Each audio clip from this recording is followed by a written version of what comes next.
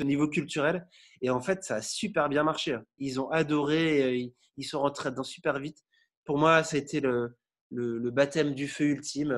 Maintenant, je me dis Dragon Dreaming, ça peut marcher n'importe où, pour peu que les gens soient ouverts d'esprit et que, voilà, c'est vraiment là que ça se limite, hein, qu'il y ait les, bonnes conditions et la bonne ouverture. Mais ça, ça marche vraiment dès qu'il y a des humains qui cherchent des solutions, qui sont ouverts et qui ont envie de célébrer, ben, ça, et ça donne des résultats épatants. Donc, c'est quand même un bon bilan pour les 8 ans. Et maintenant, j'arrive à la phase, du coup, bah, maintenant que les tests sont finis, en tant qu'ingénieur, hein, euh, de mon côté, euh, les tests sont concluants et maintenant, on peut le, on peut le commercialiser. J'aime pas le mot, mais euh, on peut l'ouvrir, en fait, au, le packager pour le vendre au grand public. Donc, c'est hyper hein, enthousiasmant. Et c'est pour ça maintenant que je vais voir des experts en communication pour, pour le packager, en fait. Et je sors de ma réunion packaging, vous voyez. Donc, donc tout, tout s'enchaîne bien. Et, et je suis vraiment euh, très. J'ai beaucoup de gratitude d'avoir reçu cet outil, d'avoir pu l'optimiser, me l'approprier quelque part et puis de, le partager au monde maintenant pour 2020. Quoi. Parce qu'il y a plein, plein d'équipes qui ont besoin de célébrer et de rêver euh, et d'améliorer leurs pratiques chaque année. Voilà. Et pour moi, euh, ouais, non, mais ça, c'est une autre question, donc je m'arrêterai là. Ah, oh Je sais pas, Yvan est peut-être en train de. de Ah, oui, je crois qu'il a réussi, bravo Yvan. Donc, je laisse la main. Est-ce que quelqu'un d'autre souhaite euh, répondre à cette première question de ces premières huit années euh, Bon, même si vous êtes certains arrivés euh, il y a deux ans ou moins encore, mais partagez votre, votre parcours avec Dragon Dreaming. Qu'est-ce qui se lance? Et bonjour Viviane, je te vois apparaître à mon écran. bonjour, Nathalie bonjour. Qui Nathalie qui allait partir Ouais, c'est là, c'est ça. A, c'est bon. Incroyable cette réunion. Euh, ben, alors moi j'ai euh, rencontré euh, Dragon Dreaming vraiment par hasard en fait. J'étais avec mon ami Manu et en fait on faisait venir 8 mois, 5 mois tibétains pendant 15 jours de d'Inde. Enfin voilà, c'était un petit peu un gros gros challenge pour moi parce que voilà, enfin j'avais jamais fait ça et tout. Et c'était top, on était vraiment à fond, sauf que j'avais commencé le projet euh, avec un pote, mais euh, lui, euh, il avait dû partir, il avait été muté dans une autre région, donc bon, on était un peu chaud patate les deux pour, pour tout faire. Puis comme je bossais quand même à full time à l'époque, c'était chaud. Enfin bref, après cette paumée 15 fois dans la route pour arriver au Tiocan, sur le lieu de la réunion, on arrive enfin, et là, on rentre dans, la pièce où tout le monde est en train d'écouter euh, un monsieur qui ressemblait au Père Noël avec un charisme incroyable, une douceur et enfin ça a été envoûtant dès le départ. Mm. Et euh, bah là, on s'est assis, on a écouté la conférence et on a été euh, subjugué. Enfin moi, en tout cas, j'ai mm. été subjuguée ça a été magique en fait, ça m'a retourné le cerveau. Je me suis dit mon Dieu, mais mon Dieu, mon Dieu, mon Dieu, j'étais en train de galérer avec mon projet et puis euh, mon travail, enfin un petit peu tout. Et euh, ça m'a, ouais, ça m'a, en fait, ça m'a allumé euh, une étincelle dans le cœur. Enfin, c'était carrément taré quoi. Et donc on a enchaîné avec la formation derrière et puis après on a enchaîné. Bah après moi j'ai été en Autriche avec pour faire les cinq jours, puis après avec Nico on s'est un peu lancé sur des, même des conférences improvisées. Donc, euh... Donc, euh, John est en retard, je crois, c'était ça. ça ouais. et puis après avec Yvan et tout, et euh, bah, ça m'a ouvert en fait l'esprit sur, euh, sur d'autres choses. Et puis bah, petit à petit, j'ai commencé à la transmettre. Et bah, quand on commence à transmettre, euh, enfin surtout à l'expérimenter, hein, que ça a été euh, voilà, pour euh, créer mes vacances, pour discuter avec ma famille, pour plein plein de trucs. J'étais tout le temps en train d'utiliser le rêve du dragon, en fait, tout le temps, tout le temps. Et pour moi, c'est devenu une vraie, vraie philosophie. Et quand j'ai commencé à la transmettre, je me suis rendu compte que bah, au travers du rêve du dragon, il y avait plein d'aspects. Il y avait l'aspect bah, de la communication, de l'organisation. Donc ça m'a ouvert un champ des possibles incroyable sur euh, la transmission. Et puis bon, évidemment, moi j'ai dû me former aussi sur plein de choses. Hein. Euh, voilà, donc euh, je l'ai expérimenté avec des groupes. alors c'était, ça a été souvent des entreprises hein, pour ma part.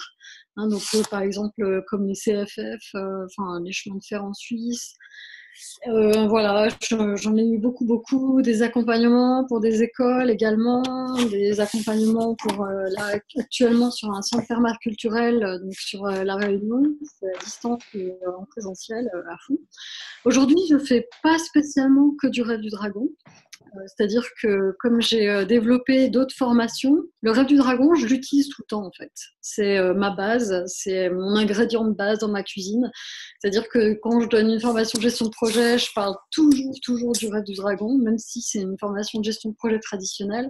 J'amène toujours ça en fait. Et du coup, par rapport à ce que disait Nico, par rapport aux experts comptables, même si j'ai un mec costard cravate devant moi et puis qu'a priori il serait fermé euh, sur son, sur son faciès, bah, au bout d'un moment, hop, là, il y a l'étincelle qui vient et puis euh, dès qu'on parle à l'humain, bah, il y a tout qui s'allume et puis euh, c'est magique. voilà. Mmh. Donc, bon, voilà, je vais m'arrêter là que j'aurais plein de trucs à dire, mais voilà, c'était, c'était chouette. puis aujourd'hui, je continue, mais il, est toujours là, tout le temps en filigrane. Je donne plus trop, trop, en fait, de, à proprement parler de Rêve du Dragon. Euh, je le fais simplement une fois par an à l'île de la Réunion sur six jours, hmm. où j'ai aussi changé le carburant, enfin j'ai changé plein de trucs. Euh, je la complémente, et puis euh, de temps en temps avec Yvan et Juliette aussi. Voilà, donc j'ai dit. Hmm. Merci. Ok, je vais, enchaîner aussi. bah, du coup, moi, c'était une, découverte aussi un petit peu par hasard, plus ou moins. Euh, ça a commencé avec le manuel de transition de Rob Hopkins. J'étais tombé sur, euh, le mouvement des villes en transition et j'ai, adoré lire ce, livre. Et puis, en, plein de, aux deux tiers du livre de manuel de transition, il y a deux pages qui parlent de cette espèce de méthode en quatre étapes euh, dont Rob Hopkins s'est servi pour justement, c'était, un projet d'écrire le manuel de transition. Et je trouvais sympa, il y avait un truc qui était marrant, il n'y avait aucun détail, c'était, ouais, bizarre. Et puis, euh, puis, il y a un gars de la région qui a, fait venir John Croft. J'ai vu qu'il y avait une conférence avec un atelier après. Alors moi, je me suis dit, bon, je vais déjà aller voir la conférence parce que voilà, je sais pas, ça se trouve, c'est bien. Euh, puis un petit peu, bah, comme décrivait Nathalie, j'étais, scotché, j'ai adoré euh, la conférence et l'énergie, tout ce qu'il y avait. Ça, ça, ça, disait oui, oui, oui, je veux, je veux, je veux. Euh, du coup, j'ai essayé de me libérer pour, euh, pour garder le, faire le week-end, euh, ce que j'ai pu faire. Donc moi, par rapport à d'autres qui ont fait des, des, cours avancés, en fait, j'ai très très peu de bagages avec John directement. j'ai énormément de pratiques, mais peu de peu d'acquisition par John. Mais voilà, suite, suite au premier week-end, on a pratiqué ensemble avec une équipe où l'idée c'était de monter le réseau français. Euh, donc on s'est fait une première série sur six mois, euh, vraiment d'aventure collective, avec des moments puissants, des moments plus durs. Euh, mais ça fait voilà, partie du voyage aussi. Et, depuis, c'est quelque chose qui s'est installé, comme disait Nathalie, pour moi, c'est quelque chose, c'est vraiment fondamental. J'arrive, je, ne sais plus, je ne sais plus vivre sans, sans, avoir cette grille de lecture, cette manière de regarder ce qui mmh. se passe je fais aussi beaucoup de liens avec la permaculture parce que bah, pour moi, c'est justement c'est de la permaculture et de permaculture humaine. Euh, parce que les trois piliers, ben voilà, c'est les trois piliers de, prendre soin de l'humain, de partager les surplus et puis de prendre soin de l'écosystème Terre. Je dois dire que je préfère la formulation de John avec euh, soutenir l'évolution des individus, renforcer le collectif et prendre soin de l'écosystème. Je trouve il est, pour moi, il est presque plus clair comme ça. Mais pour finir, je reconnais que c'est la même, c'est vraiment la même chose. Euh, en tout cas pour moi. Hmm. Euh, je rejoins tout à fait philosophie, méthodologie, quoi, bien plus que de la, juste que de la, que de la, méthodo. C'est vraiment toute cette manière de, de, penser. De, je fais aussi des liens théorie U. Je, vois en fait dans les processus ce qui génère des choses qu'on peut retrouver dans de la théorie U. Après, je suis pas spécialiste théorie U, j'ai juste lu le bouquin d'Otto Scharmer. Euh, c'était rigolo en formation aussi, c'était de croiser des personnes qui sont justement dans de la gestion de projet classique, qui ont des cursus académiques, et puis de voir comment en fait ça, les, ça, ça venait complètement euh, euh, bouger leur ligne habituelle de comment ils s'y prennent, et puis en, en, général ça les interpellait en se disant mais ouais mais c'est il y a un truc qui fait profondément sens là-dedans, et, et c'est pas forcément l'un ou l'autre, mais c'est c'est-à-dire qu'il y a des outils de gestion qui peuvent être hyper intéressants et complémentaires mais dans un premier temps, ça, c'est vraiment une. ça permet de le faire ensemble, vraiment de dégrossir tellement de trucs. Et puis après, si des spécialistes de la planification ou d'outils plus complexes ont besoin de s'en saisir, eh ben, il y a plein de matières qui a été générées et qui permettent de transférer ça sur de la, euh, sur de la planif de complète. Euh, donc des phases de transmission aussi avec euh, Nathalie pendant les, six premiers mois. Après, moi, j'ai décroché un petit peu parce que c'était, je me sentais pas de partir là-dedans. Et puis j'ai remis, j'ai remis le pied à l'étrier il y a, a 3-4 ans.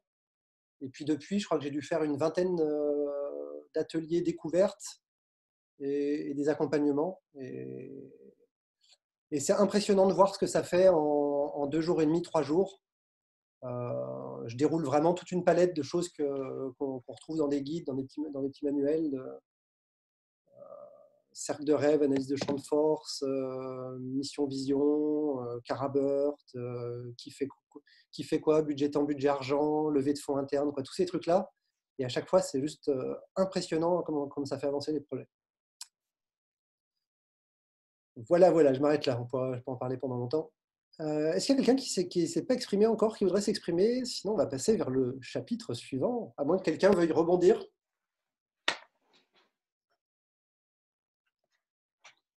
Bah, moi, je ne me suis pas encore exprimée, me semble-t-il.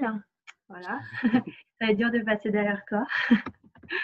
Euh, bah, moi, en fait, euh, pour rejoindre du coup Adeline, parce que du coup elle a déjà expliqué, enfin on va le faire. Voilà. moi je connais Adeline, j'ai déjà rencontré Adeline et j'ai déjà rencontré Nicolas. sinon, je suis tombée sur la méthode Dragon Dreaming un peu par hasard. j'avais envie en fait d'approfondir. je savais déjà que j'allais commencer une, formation en gestion de projet à la rentrée.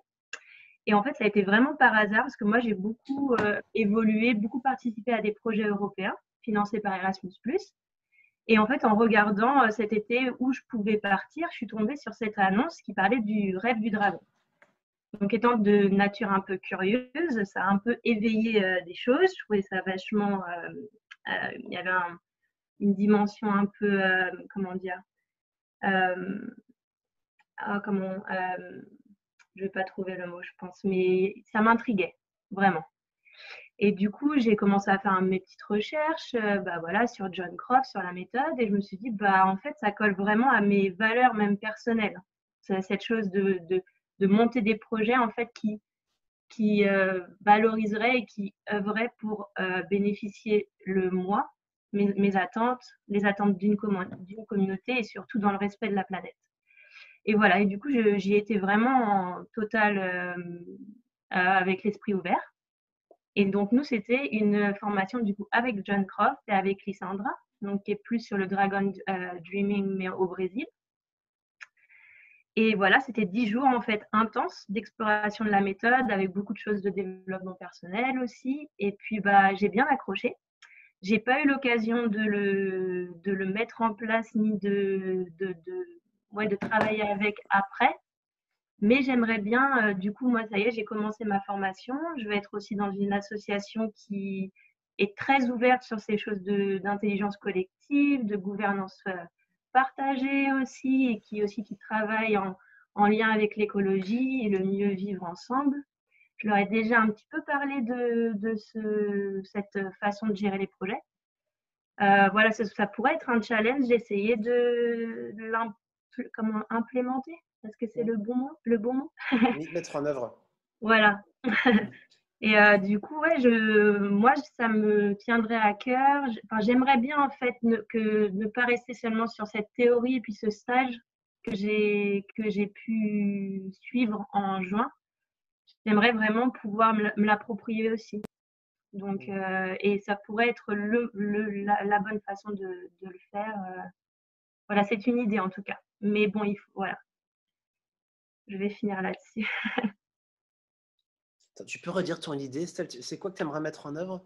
Euh, bah, J'aimerais bien pouvoir euh, m'approprier quelques techniques, quelques facettes du Dragon Dreaming pour pouvoir mener euh, mon projet en fait sur le territoire de l'association. Mmh, Peut-être aussi, comment dire, éveiller l'association aussi à, cette méthode qu'elle enfin, elle n'en a jamais entendu parler. mais elle est déjà intéressée par, par, cette, par cette méthode. Donc je me dis que ça pourrait être ça pourrait être le moment en fait pour moi aussi peut-être de mmh. m'approprier les outils, travailler avec. Ah oui, dans ta propre asso, ouais, carrément. Voilà. Ouais. Bonne idée. Vas-y. bah ouais. Du coup, il y, a un truc que j'ai oublié, je, rebondis sur ce qui s'est passé sur ces huit ans. Euh, il y, avait aussi la, découverte de la gouvernance partagée, parce que j'ai entendu Estelle parler de ça. Euh, et, moi, ça a été assez une, révélation. En fait, c'est un hasard qui a fait ça. Je donnais pas mal d'ateliers sur le Dragon Dreaming. Et puis, euh, une fois, il y a quelqu'un qui me demande, mais vous n'auriez pas un truc sur la gouvernance? Et puis, du coup, j'avais fait intervenir un, collègue, David, là, qui, qui, fait partie de l'Instance Z aussi. Et, j'avais été scotché de ce que ça pouvait amener comme, comme chose, comment, comment on pouvait l'utiliser de manière complètement complémentaire. Euh, et du coup, ça, c'est quelque chose qui a beaucoup évolué pour moi. Aujourd'hui, ça, ça, ça, se marie complètement. C'est-à-dire, je garde toute la philosophie qui, me tient à cœur du Dragon Dreaming. Euh, et après, je viens piocher, euh, suivant les besoins, dans, des, certains autres outils, effectivement, comme d'autres ont cité. Hein. Mmh. mais en fait, quasiment toutes les autres approches que je pourrais utiliser, c'est quelque chose que je peux ramener dans cette, euh, dans cette insurrection permaculture et dragon dreaming. Euh, voilà. Hmm. J'ai dit. Au niveau de timing, on serait censé passer au chapitre suivant depuis à peu près 10-15 euh, minutes. Est-ce que quelqu'un voulait rajouter juste un dernier truc avant qu'on passe? Oui, moi, je veux bien euh, dire que ce que tu viens de dire, Yvan, moi, je le fais avec la théorie U. C'est-à-dire que ma base, c'est la théorie U. je viens ramener plein d'outils dedans qui me servent à, tel ou tel endroit de, l'intervention. Voilà. Mmh. Mmh. Merci. Ah à nouveau, je sais que pour, le, pour le, ce que, ce que j'en avais lu, je ne connais pas les processus qui sont utilisés par Otto Charmer, parce que dans le livre, ce n'est pas, pas tellement décrit, j'ai l'impression. Euh, je, soupçonne qu'il faut faire autre chose pour capter euh, quel processus ils peuvent utiliser. Mais, euh, mais il y a beaucoup de liens qu'on peut faire dans un sens, dans l'autre. Et, pour moi, en fait, ces modèles, c'est un petit peu comme. c'est comme s'il y a des grilles de lecture de modèles qui fonctionnent, et puis en fait, on, trouve des engrenages en plus, et tout ça, ça crée, ça crée quelque chose de plus puissant. ils ont des points communs, ils ont des choses avec leurs apports spécifiques, et il y a moyen qu'ils s'empuissancent bien les uns les autres. Bonjour Pierre, bienvenue. Oh, Pierre. Du coup, on a fait un petit tour de savoir comment chacun allait. On a exploré un petit peu qu'est-ce qui s'est passé sur ces huit dernières années. Et puis là, on, va passer, on allait passer au chapitre suivant. Est-ce que tu veux nous dire comment tu arrives, toi? Tu as ton micro coupé? Micro coupé? C'est mieux? Ah. Ouais. Qu'il est beau. Bonjour, bonjour tout le monde. Salut euh, bah merci Yvan, euh, je suis désolé, j'arrive un peu à l'improviste là. En plus, j'arrive les mains vides. Même pas une bouteille quoi. Même pas. Ah si, attends, je peux trouver ça. non, euh, non, non, blague à part. Bonjour la France. Et voilà, je voulais juste bah, vous faire faire un bonjour, partager un petit peu, même si là j'ai peu de temps ce soir et je viens de sortir d'un gros bouchon à Rennes, c'est compliqué. Mais euh, voilà, j'avais envie d'échanger quelques mots avec vous euh, et puis euh, célébrer. bon, je suis pas là depuis 8 ans, mais célébrer quand même un chemin parcouru. Mmh. Voilà. Ouais, quand même. bah, moi, j'ai rencontré Dragon Dreaming. C'était Nico. Il va falloir que tu m'aides pour la date. mais, Ah, c'était peut-être 2005, 2006, non, 2015, 2016. C'était à Terre c'est ça? L'université Terre C'est ça, ouais. 2016. 2016. Ouais. Ça doit être ça. Bientôt 4 ans, voilà. Hmm. En Bretagne Sud. Hmm. Bah ouais. Yes, ouais, c'est un grand moment. du coup, passe la question suivante, c'était qu'est-ce que le Dragon Dreaming il apporte pour vous?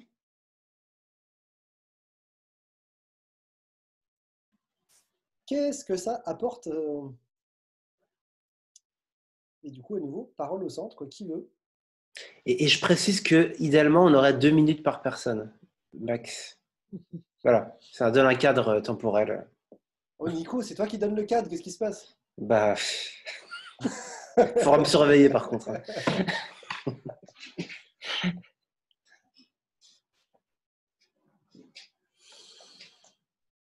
Qu'est-ce qui se- Est-ce qu'il y a un ordre de discussion ou c'est euh, popcorn? Non, c'est un peu popcorn euh, sur ce Ouais. coup-là. Mais peut-être que c'est Pierre qui veut commencer. Ok, merci. Euh, Qu'est-ce que, qu'est-ce que- Euh, qu'est-ce que ça apporte pour moi Euh, Quelle est la plus-value de cette méthode? Bah, Pour moi, déjà, ça fait, ça fait la, la jonction euh, entre deux mondes qui s'ignorent de moins en moins, euh, celui euh, du milieu de la transition et celui du milieu des, des entreprises. Donc, euh, c'est, cette méthode-là, moi, elle m'a fait découvrir l'intelligence collective et la, la capacité à se projeter ensemble positivement. ça, ça Mm. transcende les milieux. Donc, euh, on le nomme pas toujours Dragon Dreaming dans, ces- dans certains cas, mais c'est bien la puissance de, de la projection euh, positive, collective et euh, presque auto-réalisatrice Ouais. qui, qui marche aussi pour organiser ses vacances personnelles. Voilà.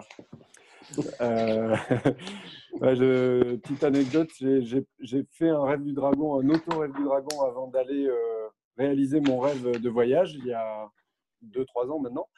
Et, euh, et en fait, euh, 98% de ce qu'on avait écrit sur cette feuille euh, s'est réalisé, même au-delà. Hmm. Donc, euh, je vois bien euh, l'intérêt de, de se mettre dans un certain flow pour, euh, pour mettre toutes les chances de son, de son côté. Donc, euh, Hmm. je, je vois, je vois l'idée et ce que ça, ce que ça apporte, c'est bah, d'avoir une, une vision du projet comme, comme déjà réussi. Pour moi, c'est- c'est principalement ça. Voilà, je m'arrête là. Génial. Merci. Bah, je veux bien noter les noms des interventions, puis on gardera le même euh, ordre après, si ça vous va. Je trouve que c'est plus. Ça, te va, Yvan? Je sais pas. Euh, je te laisse faire. Comme ça, du coup, ça enchaîne plus vite. Je trouve que chacun sait quand il doit parler. On gagne du temps. Donc, euh, il y a eu Yvan. Ça marche. Et du coup, moi, je. Estelle, qui a- qui a levé la... t'as levé la main, Estelle, ou c'était. Non, non, d'accord, ça marche. Pas de souci. Pas de pression, Estelle. Moi, je suis à la dernière place, de toute façon. Ok. Si tu veux. Ah, Moi, je veux Ouais. bien parler. Effectivement, je le disais tout à l'heure en introduction, je n'ai pas vraiment pratiqué euh, Rêve du Dragon, Dragon Dreaming, euh, ni en facilitation, ni dans d'autres projets. Par contre, je, ce que ça m'a apporté, c'était vraiment, vraiment, vraiment ce cadre dont on a parlé. C'est-à-dire que ne pas oublier de célébrer avant de repartir. Donc, ça introduit chez moi euh, euh, une réelle pause. Donc, finalement, je suis en train de dire euh, un peu le contraire parce que je sens que, effectivement, j'ai complètement intégré cette partie dans ma vie, dans mes choix, dans des relations. Euh, de prendre une pause, de, de regarder en arrière et avant de me projeter, de me réinspirer. Donc ça, c'est quelque chose que vraiment je sens très très puissant dans nos sociétés pressées où nous vivons en fait euh, contre la montre. De, voilà, de, de ne pas oublier cette partie qui au Mm. contraire est tellement tellement importante pour recueillir, euh, pas seulement énergétiquement, mais vraiment vivre l'expérience comme, comme porteuse de, de comment dire vraiment d'énergie pour continuer. Hmm. voilà je crois que c'est ça que je peux dire que ça m'a apporté. Et effectivement je je reste dans, dans l'espoir effectivement de, de mieux connaître parce que euh, ne serait-ce qu'au Chili là avec le mouvement social euh, actuel j'ai pu voir euh, sur des places, Ronald Sistek, Viviane, à faire en fait des rencontres avec des gens qui ne se connaissent pas, qui sont venus euh, travailler avec la méthode Dragon Dreaming sur euh, ce qui- comment ils rêvent leur pays, comment ils rêvent Mmh. l'avenir. Ah ouais. Donc, euh, dans des associations constituantes euh, autoproclamées, euh, c'est très puissant comme outil. Hmm. Voilà. Rêver un pays, c'est bon ça. Merci. Merci Viviane. Next. Jérôme? que mon micro marche. Jérôme, c'est parti. Ouais. Euh, du coup, euh, ben, moi, finalement, qu'est-ce que ça m'apporte Euh, Je reviens un peu à ce que disait Pierre. finalement, le côté rêve, prophétie autorisatrice, moi, c'est quelque chose qui m'a vachement aidé. Après, j'avais vachement. ça m'avait marqué aussi, finalement, le fait de me positionner sur le cadran et, et de me dire, waouh, à ce moment-là, en fait, j'adore rêver et ça, c'est super cool. Et déjà, le fait de déculpabiliser, en fait, d'être dans ce mode-là et de Mm. savoir qu'en fait, c'est constructeur et que ça apporte quelque chose euh, pour la suite du projet. Et en même temps, de me poser la question, en tout cas, de, de me pousser un peu plus sur euh, le côté action euh, qui pouvait pêcher avant et de me dire, ouais, petit à petit, en fait, j'arrive à bouger aussi dans le cadran. Et, et c'était super intéressant de le, le voir visuellement, en fait, de le vivre physiquement, de me positionner sur le cadran et de me dire, OK, ben, en fait, je suis là aujourd'hui et essayer d'aller voir, euh, d'aller visiter euh, d'autres espaces euh, dans le cadran. Voilà, c'était un, petit défi que je m'étais posé, parce que du coup, moi, j'ai fait la formation juste en juin cette année. Donc voilà. Mais, mais du coup, c'est ça, quoi. Et après, je rejoins un peu ce qu'on disait tout à l'heure, notamment Yvan, sur, sur le fait qu'en fait, c'est vachement complémentaire avec plein de, de- de choses que j'ai vues à droite, à gauche, et de dire, en fait, voilà, tout c'est en train de s'imbriquer un petit peu, toutes les différentes méthodes que je peux voir à droite, à gauche, et de se dire, waouh, euh, voilà, c'est quelque chose qui est vachement euh, puissant, parce que du coup, ça vient pas, euh, c'est on utilise cette méthode ou une autre. En fait, c'est que voilà, c'est une philosophie qui va vraiment, euh, ben voilà, avec le triptyque de on prend soin de l'individu, du collectif et, et de l'environnement, c'est quelque chose qui pour moi est super porteur et, et le fait d'en avoir discuté avec justement des personnes qui sont plus industrielles, start-up, entreprises, c'est des quelque chose, c'est effectivement si on, reste sur la gestion de projet pur, euh, ça intéresse des personnes en fait. Et euh, je trouve que ça c'est intéressant justement, comme disait Pierre, de eh ben, euh, ça peut aussi fédérer euh, différents mondes, euh, effectivement, euh, et notamment ben, Nicolas, ce, dont tu parlais aussi, sur le fait de, ben, de l'ouvrir un peu plus globalement au monde traditionnel, quoi, de dire euh, ouais, je pense qu'il y a, il y a un vrai besoin et je pense que la, la méthode le permet euh. Voilà, je dis. Merci. Merci. Euh, merci Jérôme. Qui veut en- enchaîner? Je veux bien. Juliette? Euh, Juliette? je vais, je vais pas répéter euh, ce que les autres ont dit. Euh, pour moi, il y a vraiment donc, les trois piliers qui, qui sont importants. Pour moi, ça amène du sens. Euh, et euh, il y, a, deux choses qui sont un peu contradictoires, mais euh, euh, ça permet de prendre le temps, de prendre le temps de rêver, de prendre le temps de célébrer. Et en même temps, euh, c'est des outils qui, sont tellement efficaces, j'ai envie de dire, dans la, cohésion de groupe, avec ces méthodes d'intelligence collective. On est beaucoup plus puissant à plusieurs quand on réfléchit à ce sujet-là. On gagne beaucoup de temps. Et euh, voilà, il y a cette idée, euh, enfin, je crois que ça vient de John Craft, euh, de dire on va et loin euh, ensemble. Il y a vraiment cette, cette notion de, de prendre le temps et en même temps, on le gagne ce temps. Souvent, on est dans, dans, ce, dans ce monde où, où tout va vite, où on dit mais non, mais on n'a pas le temps, on n'a pas le temps de rêver, on n'a pas le temps de célébrer. Et en fait, si tu es plus efficace sur ce que tu as à faire après, tu peux prendre ce temps. Voilà, moi je crois que ça m'importe quand même ce truc de, de se permettre de prendre le temps. C'est prendre le temps pour aller vite. Ouais, c'est ça. c'est prendre le temps et aller vite en fait. C'est pas pour Ah, aller mais vite. Ça peut être deux, pour aller vite. Ça peut être pour aller vite. Moi, maintenant, je l'affiche comme une philosophie de travail. euh, Ça, ça peut marcher. Ouais. Donc voilà. Cool. Et j'ai terminé. Ça, je suis moins de deux minutes. Bravo. Merci Juliette. Qui veut continuer?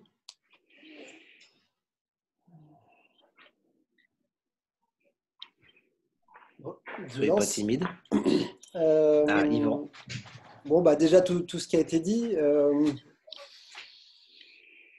qu'est-ce que ça apporte? Bah, donc, clairement, clairement, la partie éthique qui est, qui est pour moi, qu'on ne retrouve pas forcément à plein d'autres endroits. Donc, c'est, je l'ai déjà dit, hein, je suis fan de perma et, ça, ça pose une intention.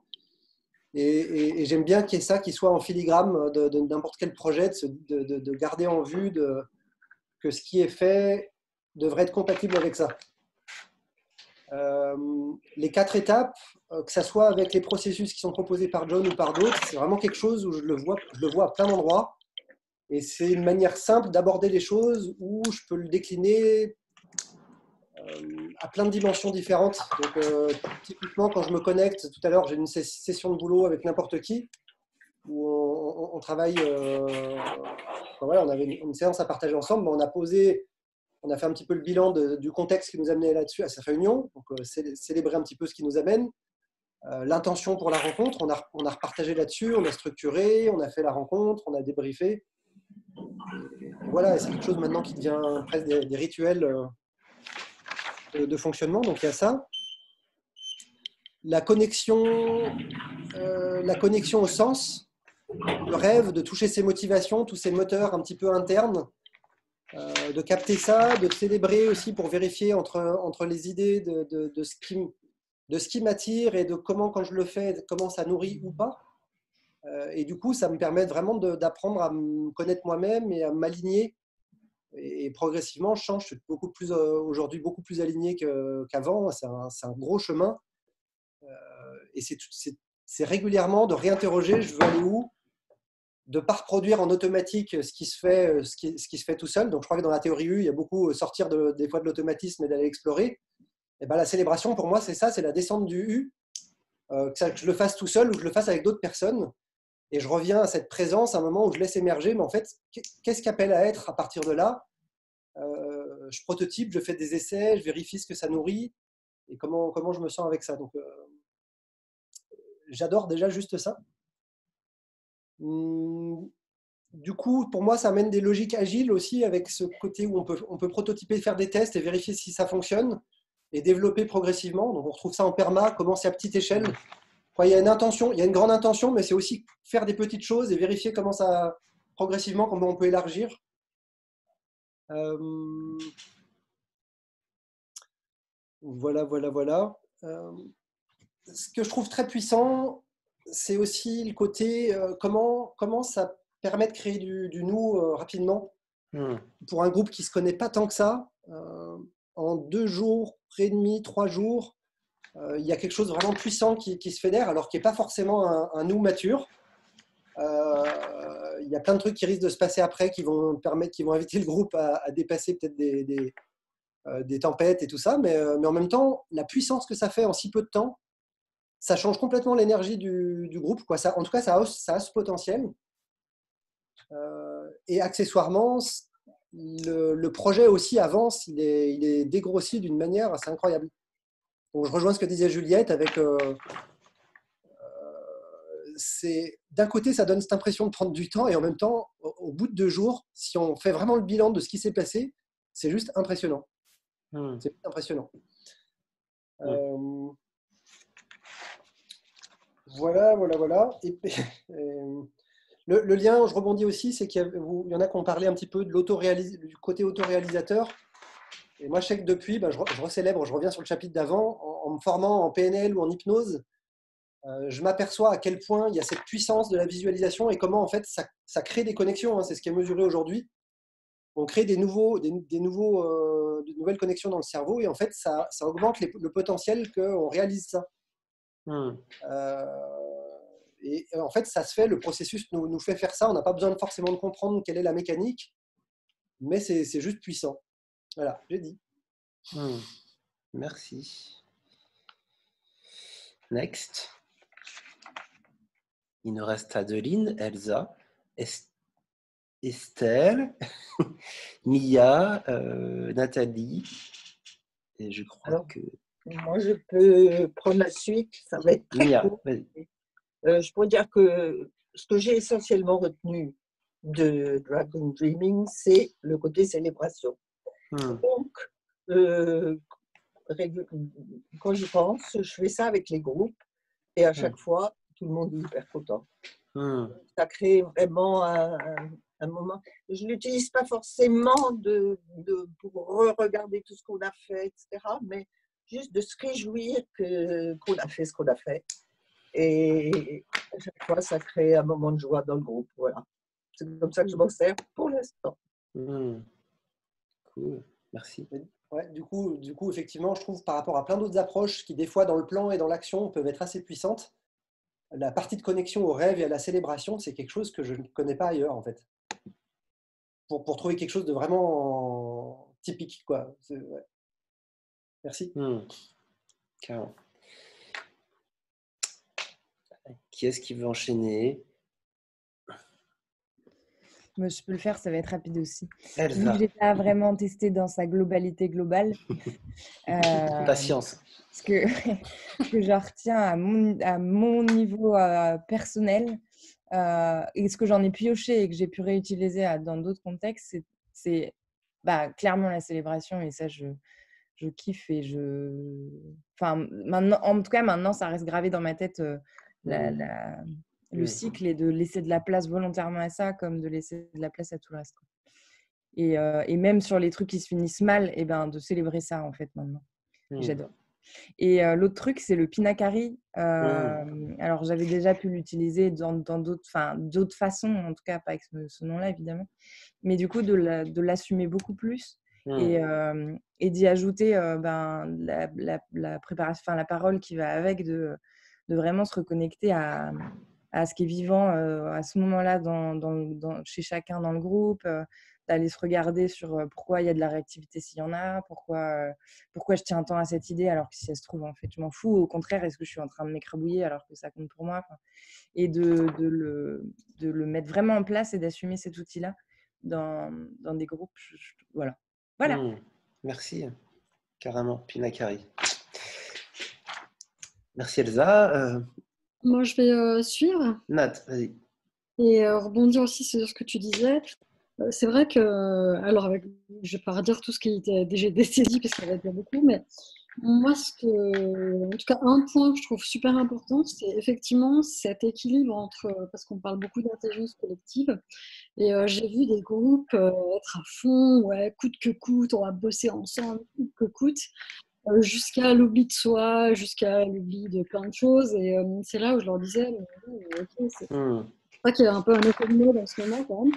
Et, euh, et donc, euh, j'aurais dit, mais c'est super, mais en attendant, euh, vous êtes à vous-même, nous sommes à nous-mêmes un, un système d'intelligence collective. Quoi. Donc, euh, c'est clair que si notre propre système euh, n'est pas, euh, je veux dire, aligné ou euh, reposé, ou en fait, ben voilà, et je- moi, c'est ce que je trouve intéressant, c'est que notre propre corps, finalement, est le reflet, le premier reflet d'intelligence collective sur Terre, enfin, en tout cas à tous les Hmm. êtres mais voilà. Donc, euh, revenir à cette échelle-là, moi, ça me parle beaucoup, euh, parce que ça permet de, voilà, de se recentrer, se réaligner, et c'est ça aussi de faire un pinakari. euh, Hmm. ça. Euh, Il y a aussi beaucoup la notion de rêve qui, qui- pour moi, c'est comment dire Moi, j'aime beaucoup les mondes des fées, des machins, des trucs comme ça. Et euh, en fait, je trouve que le, le rêve du dragon amène une, une es- une dimension magique enfin, Hmm. pour moi. Et euh, voilà, c'est c'est un endroit où effectivement tout est possible, et puis en même temps où après on passe sur quelque chose de concret. Et ça, c'est important de pouvoir euh, euh, joindre ces deux mondes en fait sur quelque chose d'assez féerique ou assez magique, toucher ce qui nous fait vibrer et puis pouvoir le mettre ben voilà, euh, avec un projet. Quoi, je trouve ça top. Et la célébration, bah, évidemment, moi j'aime beaucoup, donc je ne pourrais pas l'oublier. Voilà, enfin, je pourrais en dire beaucoup, mais euh, ce que ça m'apporte vraiment, en tout cas dans ma vie, pour moi, c'est euh, une base. souvent, quand je suis beaucoup dans l'action et puis que j'ai plus le temps de célébrer, je me dis, oula, attention Nat, euh, t'es en train de partir en live là. Donc je calme, je lève le frein, en fait, ça, me permet aussi à moi, en fait, de m'auto-réguler. Euh, voilà, je trouve que c'est plutôt bien. Voilà. Évidemment, tout ce qui a été dit concernant les groupes, les formations, ça va avec. Voilà, j'ai dit. Hmm. Merci. Il nous reste Adeline, Estelle et moi, je crois. Attends, est-ce que j'oublie quelqu'un? Ouais, je crois. Bah, oui. En tout cas, allez-y. Adeline ou Estelle? Vous êtes toujours là? Ah, votre, votre micro est coupé, par contre, je vous en informe. Peut-être que vous êtes en train de parler. là. Non, non, c'était pour euh, ne Ah. pas ne pas déranger euh, euh, la personne qui parlait. Yes. Bah, du coup, c'est à moi de parler. Yes. Moi, bah, du coup, je me suis, euh, tout ce que vous avez dit, ça nourrit vachement un peu euh, ce que, ce que j'en pense déjà. Donc, c'est pareil, je ne vais peut-être pas, euh, pas euh, rentrer trop dans les détails ou reparler de, de choses qui, a- qui ont déjà été abordées. Bon, moi, j'en ai une- encore une fois, je le dis, une petite, euh, une- euh, mon approche re- reste euh, et ma connaissance du Dragon Dreaming reste très limitée. J'ai vraiment pu l'aborder qu'en 10 jours. Et après ça, j'ai euh, voilà, c'est vraiment pendant ces 10 jours, qu'est-ce que j'en ai retenu? Et je sais que pourquoi la, la méthode m'a autant plu, et dès le début, c'est qu'il y avait déjà, ouais, voilà, ce, ce- vraiment cette. euh, J'aime bien quand tu as dit ça, Nathalie, qu'il y a vraiment ce- cette dimension magique et de rêve, et qu'en même temps, après, il y a aussi cette chose concrète. Et c'est vraiment ça, en fait, les quatre piliers, et c'est ça. Euh, et moi, ce que, je, ce que je retiens, donc bien sûr, la partie de célébration est hyper importante parce qu'il faut toujours célébrer et apprécier ce qui a été fait collectivement et personnellement. Mais il y a vraiment aussi cette approche. Moi, ce que j'ai aimé dans la partie du rêve, c'est déjà en fait comment on peut euh, penser les choses ou euh, qu'est-ce qu'on veut et qu'est-ce qu'on veut, enfin, qu'est-ce qui, qu'est-ce qui nous contenterait au maximum. Et je pense que dans les projets, en fait, parfois, on a tendance à, à, à ne pas oser, oser rêver jusqu'à son maximum. Parce qu'il faut pouvoir, on nous apprend aussi à ça dans, dans la vie, à être raisonnable. Et en fait, il Mm. n'y a pas ce truc de, raisonna- de, de raisonnable, en fait, dans cette partie du rêve.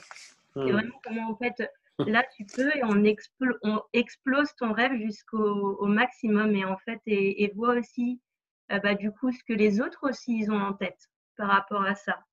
Et ce que j'ai bien aimé aussi, est vraiment ce truc, euh, euh, pour toutes les décisions, euh, c'est pas à la majorité. C'est chacun, c'est comment et s'accorder sur des décisions pour que pour qu'on avance et que chacun en fait valide vraiment et, et euh, décidé. Il faut que tout le monde soit d'accord et pas seulement euh, et, et du coup ça évite que de- des personnes soient lésées. Mm. Et ça je bah, je l'avais jamais en fait euh, approché avant. Mm. Voilà, donc euh, je sais que ça, ça avait été assez fort dans la, dans la découverte, euh, dans ce qui rend l'approche vraiment forte pour moi. Voilà, je ne Mm. sais pas si ça, ça fait sens ou euh, si je me suis bien expliquée. C'était parfait, Estelle. Voilà, micro. Adeline, est-ce que tu as quelque chose à... Pense à... Voilà, bravo Adeline. Euh, alors pour moi, euh, je dirais que, enfin, comme je le disais tout à l'heure, euh, j'ai enfin, découvert et euh, euh, enfin, creusé en fait Dragon Dreaming euh, sur plusieurs années et à, enfin, à différents stades et, euh, et je trouve que c'est en fait ce qui m'a ce que, ce qu'a m'a- euh, ce que ça m'a apporté, c'est que c'est une forme de modélisation de euh, différentes choses que euh, je, euh, je, je voyais déjà, que je comprenais déjà, mais condensées en fait dans, dans un seul modèle Mm. et qui en plus peut être nourri par d'autres modèles. Donc c'est pour ça que pour moi ça faisait sens. Et, euh, et je le vois aussi à, enfin, à multiples niveaux, c'est-à-dire qu'au fur et à mesure de ma vie, j'ai pu creuser certains aspects au moment où moi j'en avais besoin. Et même aujourd'hui encore, il y a des aspects sur lesquels je vais, euh, je vais pouvoir approfondir parce que j'en suis à un stade où j'avais envie d'approfondir ces choses-là. Et c'est quelque chose qu'on voit pas forcément au début quand on le découvre. Donc euh, pour les personnes qui découvrent pour la première fois, c'est c'est hyper riche et les personnes peuvent potentiellement se perdre euh, par rapport à ça. Mais plus on avance, en fait, plus on voit la profondeur en fait du modèle. Mm. Et, euh, et pour moi, en fait, la toute première fois il y a quelques années, c'était un stade de ma vie où non seulement ben, on, on- on était en phase de réflexion, comme je le disais, de savoir comment est-ce que j'en suis arrivée à devenir facilitatrice. Donc c'était une espèce de euh, conséquence un peu naturelle. Et c'était une phase de ma vie où en fait j'étais en train de créer des cours pour euh, de la gestion de projet pour des services volontaires européens. Et quand on parle de gestion de projet, habituellement auprès des gens, les, et surtout auprès des jeunes, les gens voient ça comme quelque, quelque chose de chiant et de sérieux. Et de le présenter en fait sous cette manière-là, pour moi en fait, ça, ça, c'est comme si c'était quelqu'un d'autre qui est en train d'expliquer comment est-ce que moi-même je le voyais, euh, cette façon un petit peu magique et qui montrait finalement comment est-ce que moi j'en suis arrivée à faire des projets et qu'est-ce qui m'a motivé à faire des projets pour essayer de changer le monde aussi. Hmm. Et de transmettre ça, de voir ça en fait modélisé par quelqu'un d'autre, pour moi en fait c'était euh, comme une espèce de validation de quelque chose que je pensais moi personnellement par quelqu'un d'autre.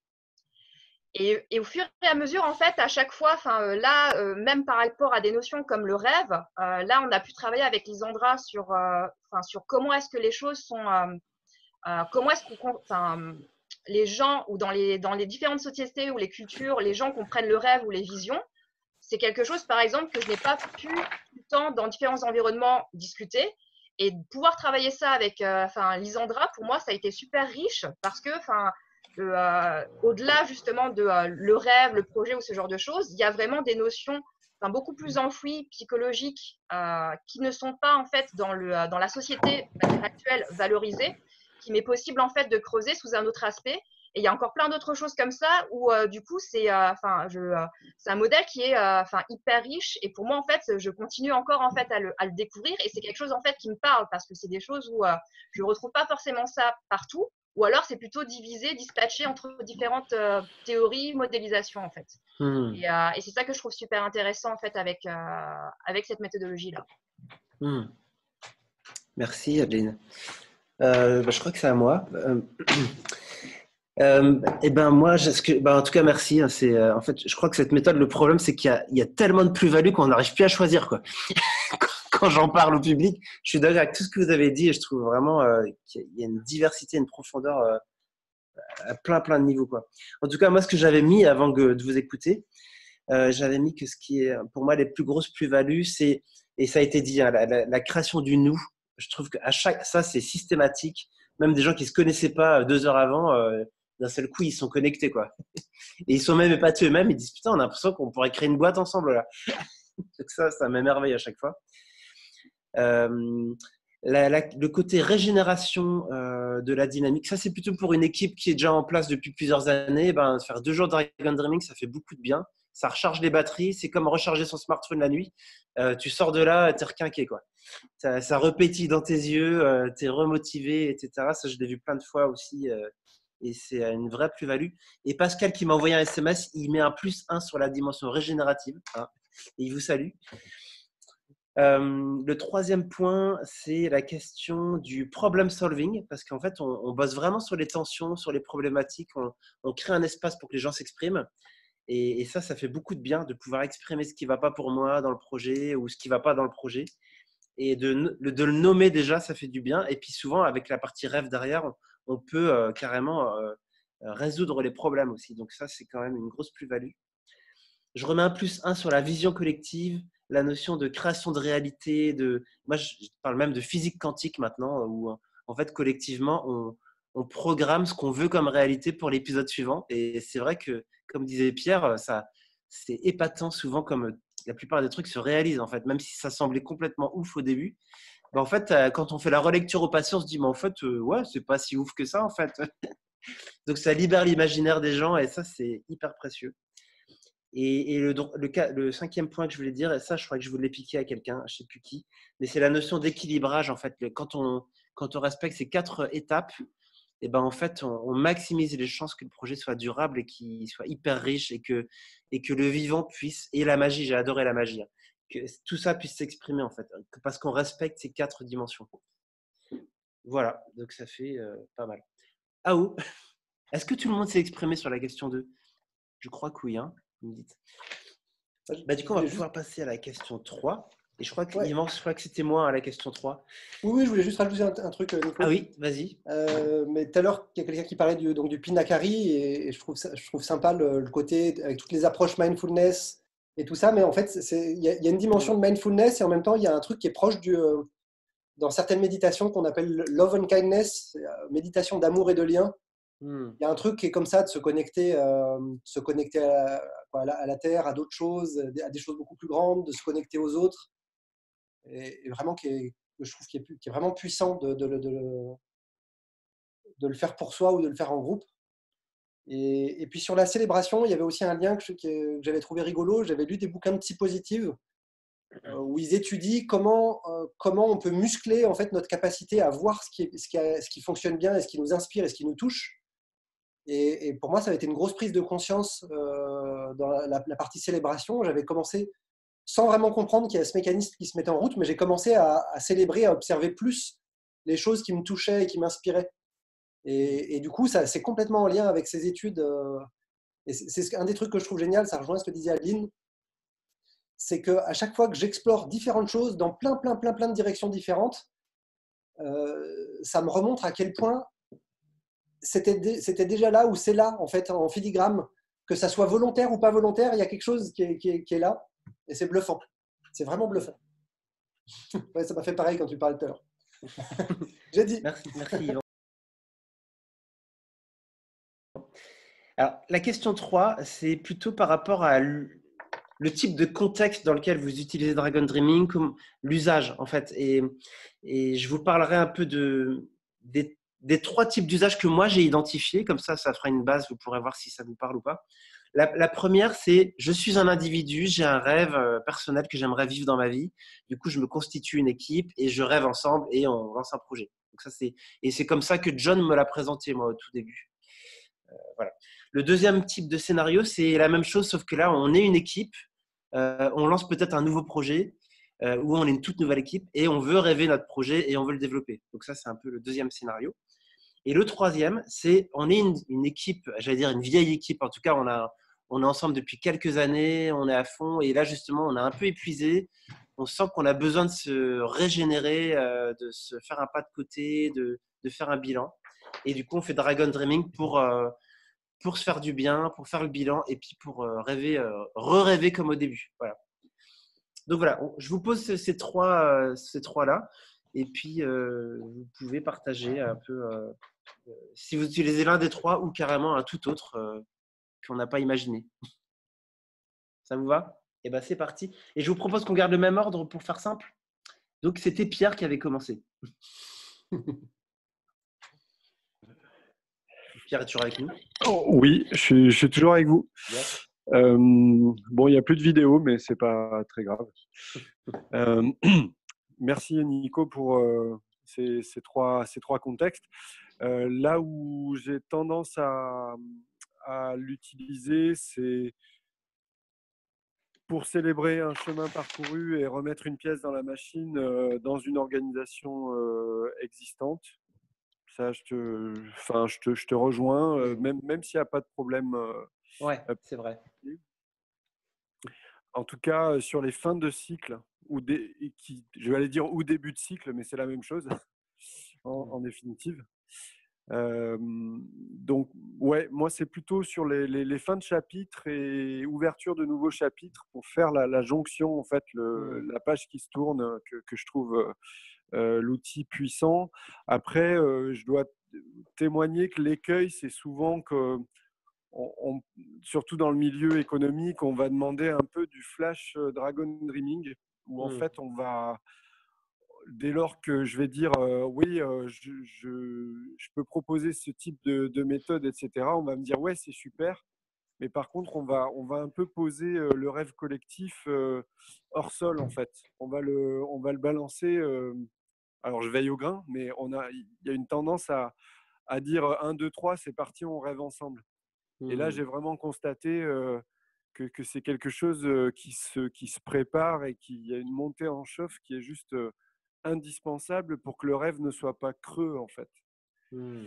Et, yes. et, donc, la grande vigilance que je, je soumets à tous les facilitatrices et facilitateurs, c'est vraiment de même sur un, un, temps très court, on n'est pas sur du deux jours, on est sur du deux heures ou du trois heures.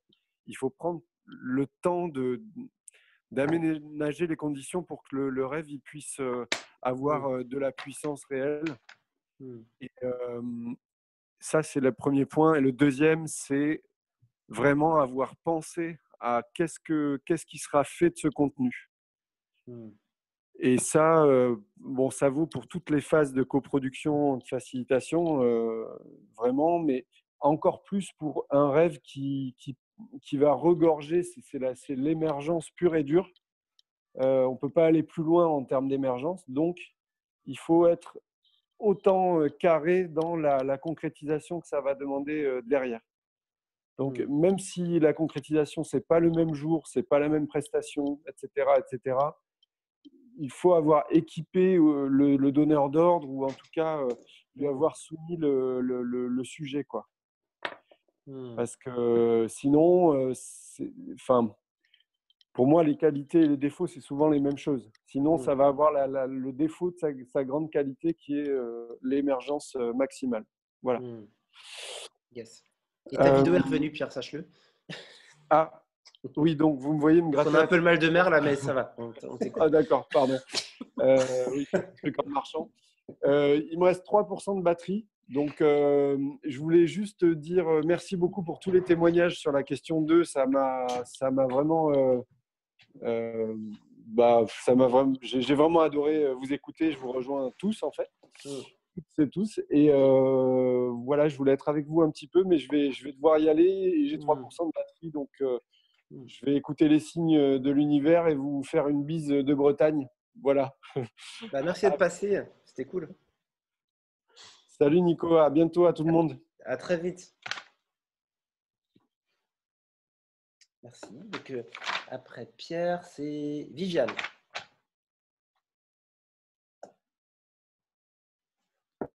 Alors, euh, la troisième question, c'était. C'était par rapport au type d'usage, euh, dans quel contexte tu utilises euh? Donc, moi, je ne suis pas encore mmh. outillée pour me sentir facilitatrice. Par mmh. contre, j'ai rejoint une start-up dans laquelle je travaille un peu comme, on va dire, ce sont des scientifiques et je m'occupe un peu de, de, la gestion du projet scientifique. Donc, en fait, j'ai espoir euh, de pouvoir euh, faire euh, en 2020 une journée ou deux jours même de team building. Et donc, c'est vraiment quelque chose que j'ai envie de leur apporter. Hmm. Donc, voilà, c'est dans, dans, mon idée. Donc, je ne sais pas encore effectivement sous quelle forme. mais donc, du coup, je vous parle d'un rêve. Hmm. Cool. Merci. Eh ben, si tu as terminé, Viviane, c'est Jérôme ensuite. Ouais, et ben, du coup, euh, par rapport à, tes trois contextes, Nicolas, ben, en fait, euh, donc moi, c'est euh, en cours d'utilisation, du coup, mais du coup, c'est en cours d'utilisation sur les trois. C'est-à-dire qu'il y a aussi bien ben, le projet qu'on avait lancé lors de la formation en juin en fait que, euh, que j'ai adapté et que je suis en train de monter un groupe euh, sur Montpellier pour, pour le porter. Donc du coup, sur le premier contexte. Sur, et après, il y a une asso dans laquelle je suis qui est aussi bien bah, une asso un peu à bout de souffle. donc du coup, c'est le côté régénération. Et puis après aussi, du coup, la nécessité de porter de nouveaux projets. Et mmh. donc, donc du coup, voilà. Après, j'ai pas vraiment de recul parce que là, c'est vraiment en cours en mmh. cours d'élaboration. Donc, euh, donc, voilà, par contre, effectivement, je retrouve bien ces trois cas, euh, en tout cas, euh, pour moi, effectivement. Et après, je, je rejoins Pierre, du coup, sur, sur l'importance, en tout cas, moi, je vois par rapport à mes expériences passées, je trouve la plus-value vraiment par rapport au contexte, c'est vraiment ouais, sur le, la fin du chapitre et le nouveau chapitre. Quoi. Vraiment, quand on mmh. tourne la page, ouais, je trouve que c'est intéressant. Voilà, j'ai dit. Merci, euh, Juliette. Oui, euh, l'utilisation qu'on a aujourd'hui, euh, ben, c'est d'abord au sein de l'instant d'aide. on utilise régulièrement les processus du rêve du dragon par rapport à, notre fonctionnement à, l'interne. Hmm. tous les six mois, pour réactiver voilà, d'être aussi en, cohérence avec euh, ce qu'on transmet et ce qu'on vit à l'intérieur de, de l'association. Euh, et pour moi, c'est vraiment super puissant. Euh, et on l'a aussi intégré dans les ateliers de, gouvernance partagée. J'ai entendu qu'il y a des gens qui faisaient ce lien. On fait ce lien très fort. Euh, on fait des réunions de stratégie qui, mélangent des outils euh, euh, d'intelligence collective et du rêve du dragon. Et, après, ça va être dans des groupes, donc d'animer des ateliers pour des groupes, des groupes qui ont déjà un projet précis, euh, qui sont soit au démarrage, euh, soit qui ont besoin de, de réactiver ou qui sont en- dans une nouvelle phase du projet et qui vont pouvoir faire appel à nous. Ça peut être euh, pour un démarrage de projet. Et puis, ça peut être pour de l'accompagnement. Euh, il y a quelques projets que j'ai accompagnés euh, sur une durée de, de six mois à peu près. Voilà, pour, pour euh, prendre des, bonnes habitudes aussi. Enfin, voilà. je ne suis pas très claire, je suis désolée. C'est mon cerveau qui sature.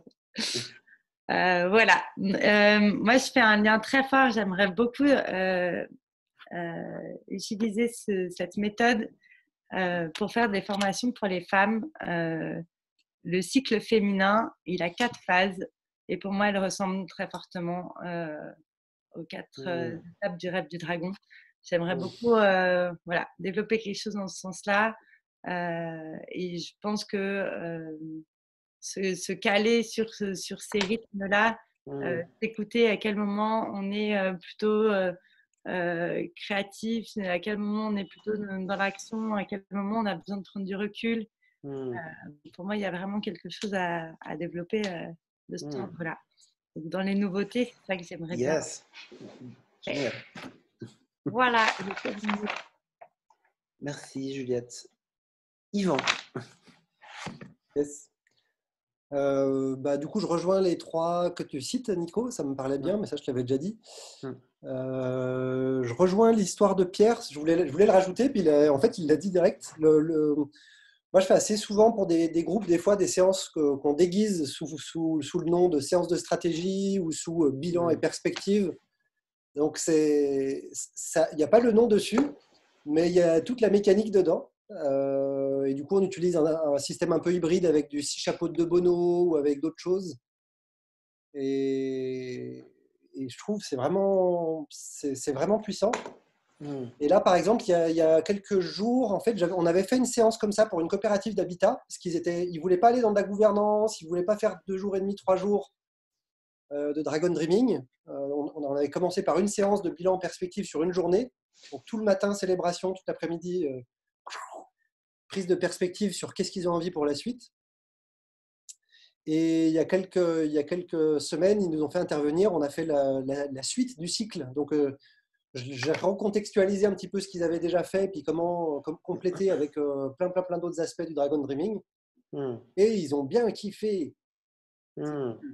Euh, et, et du coup, c'est pas mal intermédiaire. Par, par- nous, on propose beaucoup, à l'instant Z, on propose beaucoup la gouvernance partagée dans des côtés plus euh, techniques. Quoi, y a- ça peut être hyper pointu, parce qu'on est, on est, on, on va sur de la technicité de type holacratie, des choses comme ça. On, est assez, on a un niveau d'exigence assez, assez élevé là-dessus. Euh, mais il y, a certaines, il y a certains endroits où c'est pas approprié. Et là, par exemple, dans la coopérative, on- euh, le, le Dragon Dreaming, plus quelques notions d'élection sans candidat, gestion par consentement, des petits modèles de réunion simples, mais inspirés de la gouvernance partagée, bah ça, voilà, ça le fait bien. Mais du coup, il peut avoir cette stratégie en, en deux étapes. C'est d'abord une séance bilan et perspective, et puis revenir avec un complément. Et puis l'autre chose que j'aime bien, c'est sur les ateliers qu'on donne, sur des ateliers découvertes où tout un chacun peut venir. Euh, moi, systématiquement, je, bosse sur un. On choisit un ou plusieurs projets des participants qui nous prêtent leur intention. Et, euh, et en fait, les personnes, il y a des personnes qui, sont en résonance avec ces projets et on fait comme si. Et euh, on fait comme si, quand les, les personnes sont bien en résonance avec le projet, eh ben, déjà, ça leur permet d'être vraiment dans le processus et puis euh, ils sentent comment ça fait parce que vraiment, c'est plus que se prêter au jeu. Quoi. Euh, et puis pour les personnes qui ont prêté leur projet, en fait, ils repartent avec, un, avec une maturation. Ça, leur fait, ça éclaire des aspects, ça nourrit des réflexions. À chaque fois c'est un bond en avant et, voilà, c'est super chouette. Donc il y, a, il y a aussi cet aspect-là que j'aime bien. J'ai dit. Hmm. Merci beaucoup. Après Yvan, c'est Mia. Alors, moi, je vous ai dit, hein, je, je m'en sers euh, pour l'instant à peine. Euh, mais cette conversation-là m'inspire sur le fait que euh, jeudi, pas celui-ci, mais suivant, on a notre dernière séance du ULab que j'accompagne, le MOOC actuellement, j'accompagne. Euh, et donc, je me dis que je vais en profiter pour réellement revenir sur tout. sur- On avait déjà l'idée, hein, je fais ça avec ma fille, et euh, on co- co-facilite toutes les deux. Et euh, ce qui est un bel apprentissage entre mère et fille. Euh, donc, euh, on avait l'idée de revenir sur tout ce qu'on a fait à travers les, les séances de, de ce trimestre. Et donc, en profiter pour vraiment le faire dans la dimension de la célébration. Hmm. Ça, c'est une chose. Et euh, jeudi qui vient, par ailleurs, euh, on se réunit à quelques-uns pour euh, un projet de plateforme de. J'en profite pour vous le dire, tiens. On voudrait créer une plateforme web de coopération entre facilitateurs, coachs, intervenants, etc. Euh, et donc, euh, ce petit groupe qui, va, qui vient nous rejoindre pour euh, commencer à justement à rêver sur ce, sur ce projet, en profiter pour le faire vraiment dans le- la dimension du rêve. J'aurais peut-être pour ça besoin de un peu de conseils, je sais pas, Nico ou Yvan ou quelqu'un d'autre, si, si on pouvait avoir un petit moment de, Hmm. de, de téléphone ou de Zoom euh, avant, pour vraiment euh, faire éclore euh, ce que chacun rêve de cette Hmm. plateforme. Hmm. Et ça, c'est jeudi soir. Hmm. Voilà. Super, merci beaucoup. Bah ouais, volontiers, hein, si jamais tu. pour qu'on s'appelle.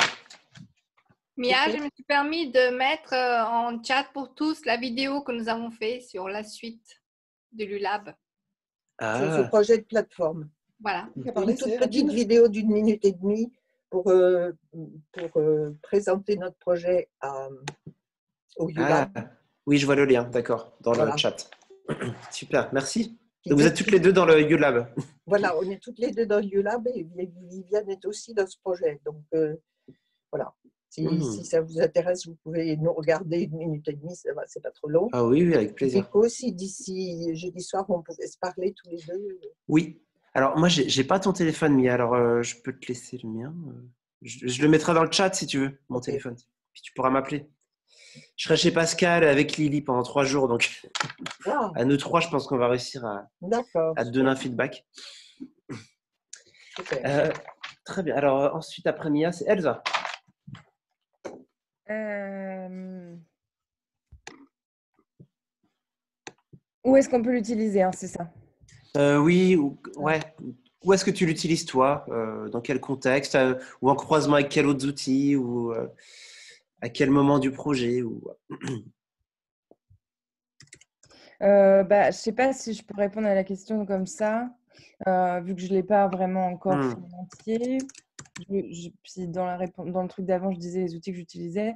Euh, par contre, je vois plein de potentialités de d'utilisation dont j'arrête pas de parler. Hmm. Euh, là, on avait un projet de hackathon où on, où- où on avait, euh, bon, au final, on, on est reporté, mais euh, mais il y avait une idée de, enfin, en tout cas, on avait créé un déroulé avec avec le, la méthode. Et je pense que ça aurait pu donner pas mal. Hmm. Euh, je sais pas, je vois plein de, de- de possibilités et, et justement parce qu'il y a cette part de rêve et que c'est ça qui donne envie de l'insuffler partout. En fait. Pour, euh, Puis on va le tester ensemble au Mans bientôt. hein. Et voilà, on va le tester au Mans bientôt sur une euh, MJC qui, euh, qui n'a pas réécrit de projet structure, enfin, qui n'a pas vraiment de projet structure, euh, enfin, qui a le même depuis 10 ans et qui est un peu en, en, en perte de lien entre les différents trucs Hmm. parce qu'il y a énormément de choses. Hmm. Et Très voilà. bien. Merci beaucoup. Euh, Nathalie. Voilà, je remettais mon petit micro. Euh, alors, ben moi, en fait, j'utilise euh, donc dans les trois étapes, euh, que ce soit dans la création, alors c'est aussi beaucoup en entreprise, hein, euh, création sur du suivi, du redynamisme euh, et repositionner donc des, objectifs. Euh, voilà, ça c'est à peu près les trois axes. Comme Juliette, en fait, moi, je, je, bosse aussi avec une, association qui s'appelle Africa 21 qui est sur Genève. On m'avait demandé de créer une, une aide, en de la gestion de projet pour les femmes en fait en Afrique. Donc, euh, j'avais réfléchi déjà à ça et puis on a eu la chance été, hein, Juliette, de rencontrer euh, une, une, femme incroyable qui nous a partagé des connaissances super sur euh, justement l'accompagnement par rapport au cycle féminin. Et à la réunion, j'ai eu la chance de rencontrer une nana qui fait déjà ça un petit peu en entreprise, qui ose, qui a. Qui, qui, qui, bouge un petit peu les mœurs par rapport à la femme, à l'entreprise, la gestion de projet et son cycle menstruel. Donc on va, on va, on est en train, on a déjà commencé en fait de faire des sessions de travail pour justement mettre en place quelque chose pour les femmes. Et donc bah, Juliette, euh, voilà, si ça te dit. Et euh, voilà, en fait c'est juste génial, c'est juste euh, énormissime. Et donc ça faisait déjà quelques mois que je teste en fait sur euh, bah, voilà, quand poser des réunions stratégiques par rapport à mon cycle, euh, quand prendre des décisions, comment les prendre, et puis voilà. Donc ça, je trouve ça juste, juste génial. Puis comme il y a beaucoup de femmes accessoirement sur Terre, c'est quand même plutôt pas mal. Et comme il y a beaucoup de femmes aussi en entreprise à qui, comme on disait cet été, on demande effectivement de réagir comme des hommes, alors que bah, physiologiquement c'est compliqué en fait. Donc euh, je trouvais ça vraiment super. Donc euh, je te rejoins Juliette hein, là-dessus, c'est marrant. Du coup, parallèlement on fait la même chose. Mmh. Et donc euh, voilà, ça j'ai envie d'aller un petit peu plus fort, mais d'y aller, mais vraiment en cash en entreprise, d'oser voilà, quelque chose de, de nouveau. Donc en amenant justement Rêve du Dragon avec ça. Voilà, et puis aussi encore un autre truc, mais j'en je, parle un, peu un tout petit peu plus tard, c'est peut-être pas le moment là, euh, d'amener. Euh, euh, ah, ça c'est pour le, c'est la prochaine, la question d'après en fait, c'est pour le Donc voilà. Donc, yes. voilà, je pense que j'ai répondu en essayant de ne prendre pas trop de temps. Voilà, j'ai dit. Merci Nat, parfait.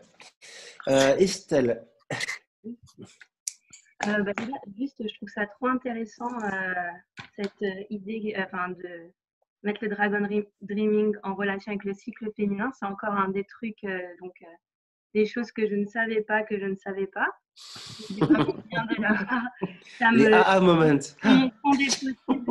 ça me, ouais, ça me parle vachement.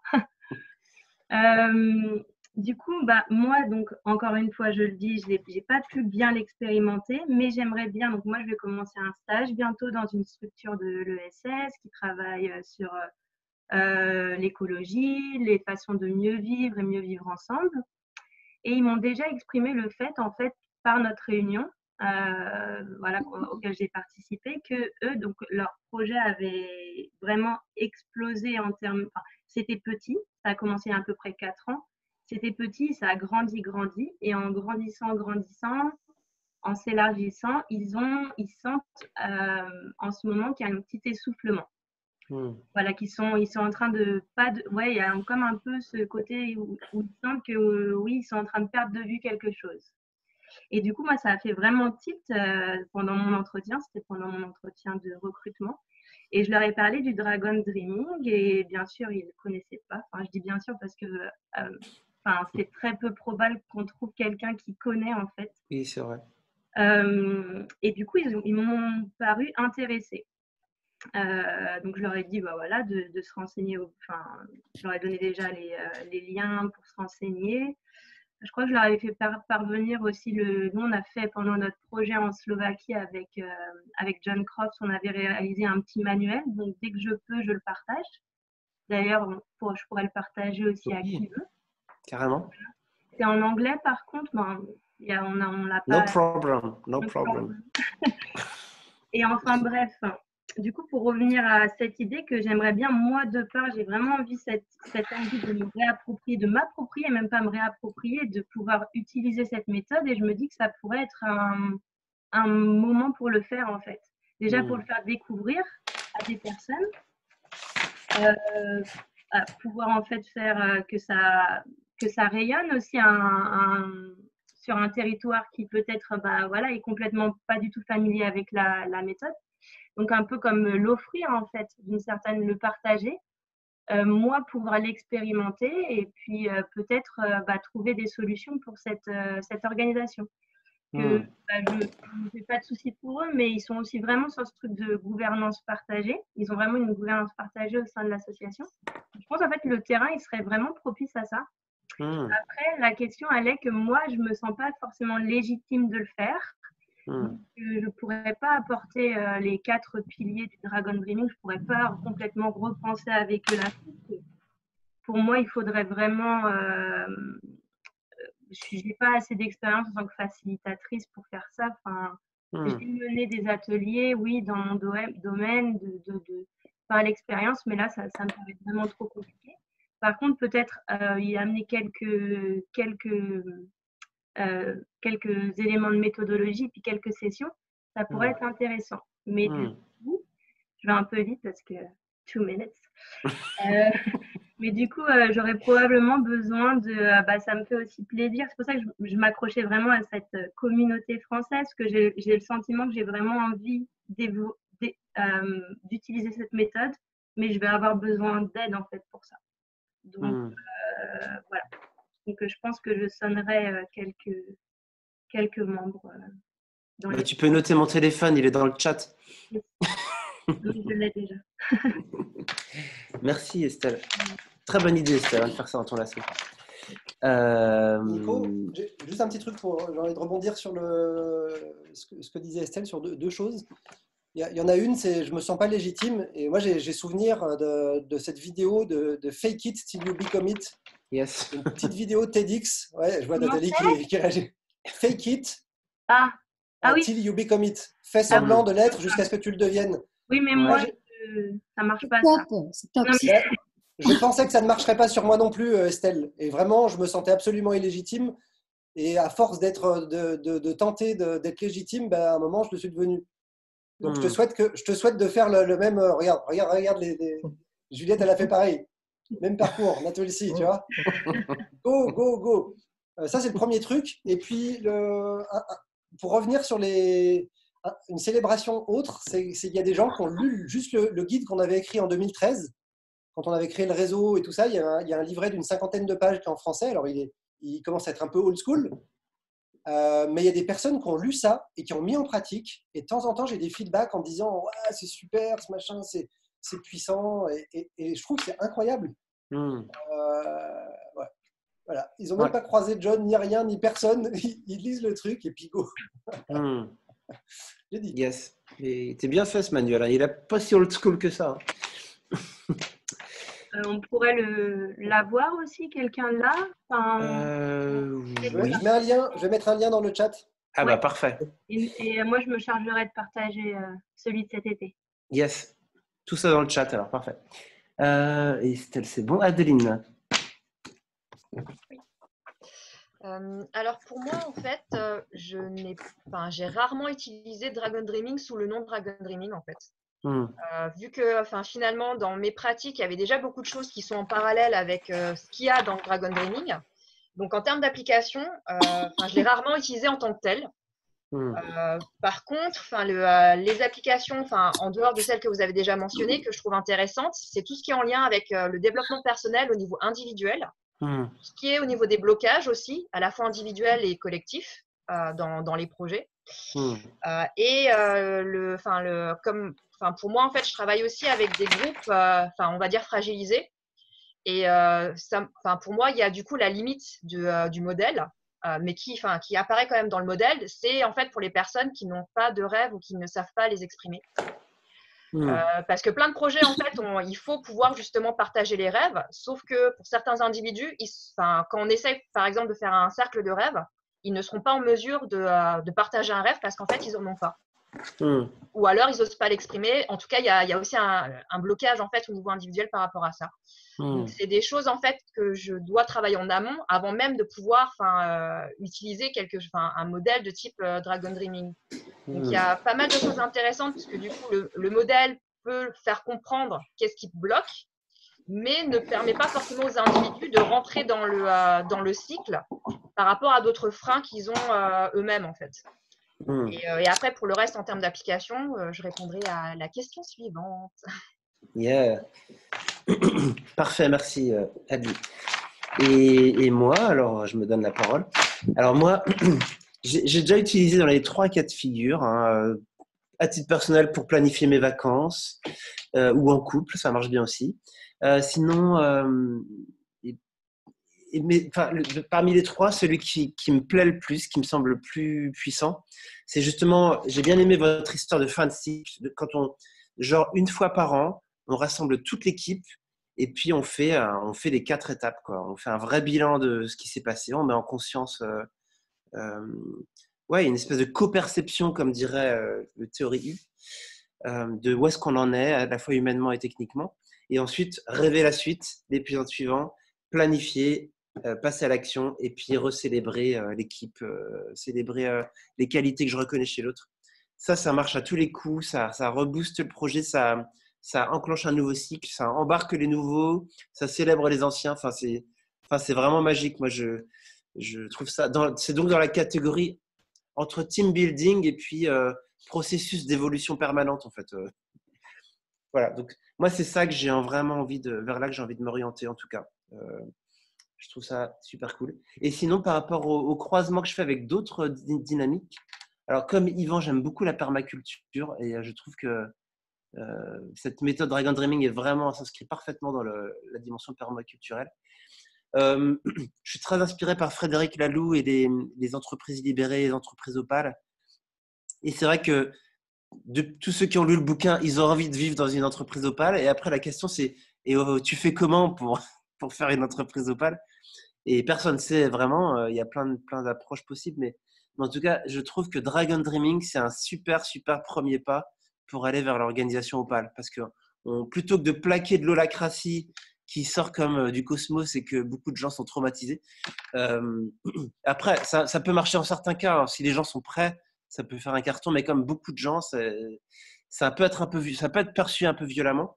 Et du coup, je trouve que Dragon Dreaming est beaucoup plus subtil parce que on part de là où on est et puis on va faire un petit pas ou deux petits pas vers ce qu'on voudrait devenir et, on le refait chaque année. Donc du coup, c'est beaucoup plus doux et beaucoup plus proche du vivant en fait. Donc ça, ça j'adore euh, et j'ai réussi à faire le croisement entre John Croft et Frédéric Laloux. Maintenant, j'ai reçu deux, euh, deux cadeaux de deux personnes et, je les mêle euh, avec plaisir. Sinon, je suis très intéressé aussi par les habitats groupés parce que je crois que j'aimerais bien habiter dans un habitat groupé et que Dragon Dreaming se, se prête parfaitement à ce genre de projet parce que c'est des projets où on s'inscrit pour euh, 30 ans ensemble, euh, on a besoin de rêver ensemble, on a besoin de créer du lien très fort ensemble. Donc ça, ça marche très bien. Et puis, et j'aime bien le lien avec la gouvernance partagée, comme fait Yvan et, et Juliette, parce qu'effectivement, c'est euh, ça se marie très très bien. Comment travailler ensemble et comment décider ensemble et se structurer ensemble. Donc euh, moi aussi, j'essaie de. J'ai donné ma première formation à la sociocratie là, il y a une semaine à Paris, donc euh, je rentre dans ce grand monde euh, de sociocratie plus Dragon Dreaming et j'en suis ravi. Je m'arrêterai là pour cette question. Et puis merci pour tous vos partages. Et nous arrivons à la question 4, qui est plutôt là dans la dimension. Là, on, a fait, on était plutôt en mode bilan de nos usages. Et là, la question 4, c'est plutôt sur les perspectives d'avenir. Qu'est-ce que. euh, voilà, un nouveau cycle démarre hein, euh, maintenant, aujourd'hui. Et du coup, qu'est-ce que, qu'est-ce que j'aimerais faire à l'avenir euh, avec Dragon Dreaming? Que ce soit à titre personnel, dans mes projets, avec ma propre équipe ou avec le réseau Dragon Dreaming euh, francophone. Voilà, qu'est-ce que, qu'est-ce que vous aimeriez, euh, et, et ça a déjà commencé, hein, je vois des personnes qui parlent de, des cycles féminins, donc bon, il y a déjà eu des choses qui ont été exprimées, mais est-ce qu'il y a des choses que vous aimeriez rajouter compléter, euh, voilà, partager? Excusez-moi, je n'ai pas respecté l'ordre parce que je dois vous quitter à 20h. Oui, vas-y, Viviane. euh, du coup, je voudrais dire effectivement ce que je vois pour l'avenir, c'est euh, effectivement, bah, j'espère déjà que cette communauté s'étoffera en fait, plein de Mm. gens qui, qui connaissent grâce peut-être euh, à notre SMH, au marketing, au- Mm. aux besoins en fait, euh, aux rencontres qui permettent. Donc ça, c'est vraiment une chose que je souhaite. Euh, je parlais tout à l'heure de, de mon envie de l'implanter dans mon lieu de travail et j'entendais Estelle également. C'est-à-dire Mm. que je me dis qu'on peut euh, dans sa famille, enfin, commencer par moi, ma famille, mon lieu de travail. Et voilà, ça c'est c'est Mm. des, des choses que j'aimerais. Je les vois en fait, euh, comment dire, touchables parce que euh, c'est possible. C'est Ouais, possible. C'est à mon, c'est à mon, c'est à ma atteignable. Mm. ah, quand j'entendais Mia, c'est vrai qu'associer les deux théories, je l'avais, je l'avais entendu en partage d'expérience d'autres. Et voilà, nous sommes deux ici euh, parmi dix personnes à faire un autre projet ULAB et voir les liens, les, les possibles euh, tricotages entre ces deux méthodes, euh, toujours dans une approche spirituelle en fait, dans, Mm. pour le meilleur de l'humanité, pour le meilleur de cet univers. Donc voilà, c'est à mon mot de la fin pour vous dire merci à chacun, merci à nous tous. Bah, merci à toi d'être venu. Ce champ social que nous avons créé. Yes, c'est clair. Et ben, bah, bah, à bientôt, Viviane. hein. À très bientôt, oui. Ciao, ciao. Merci.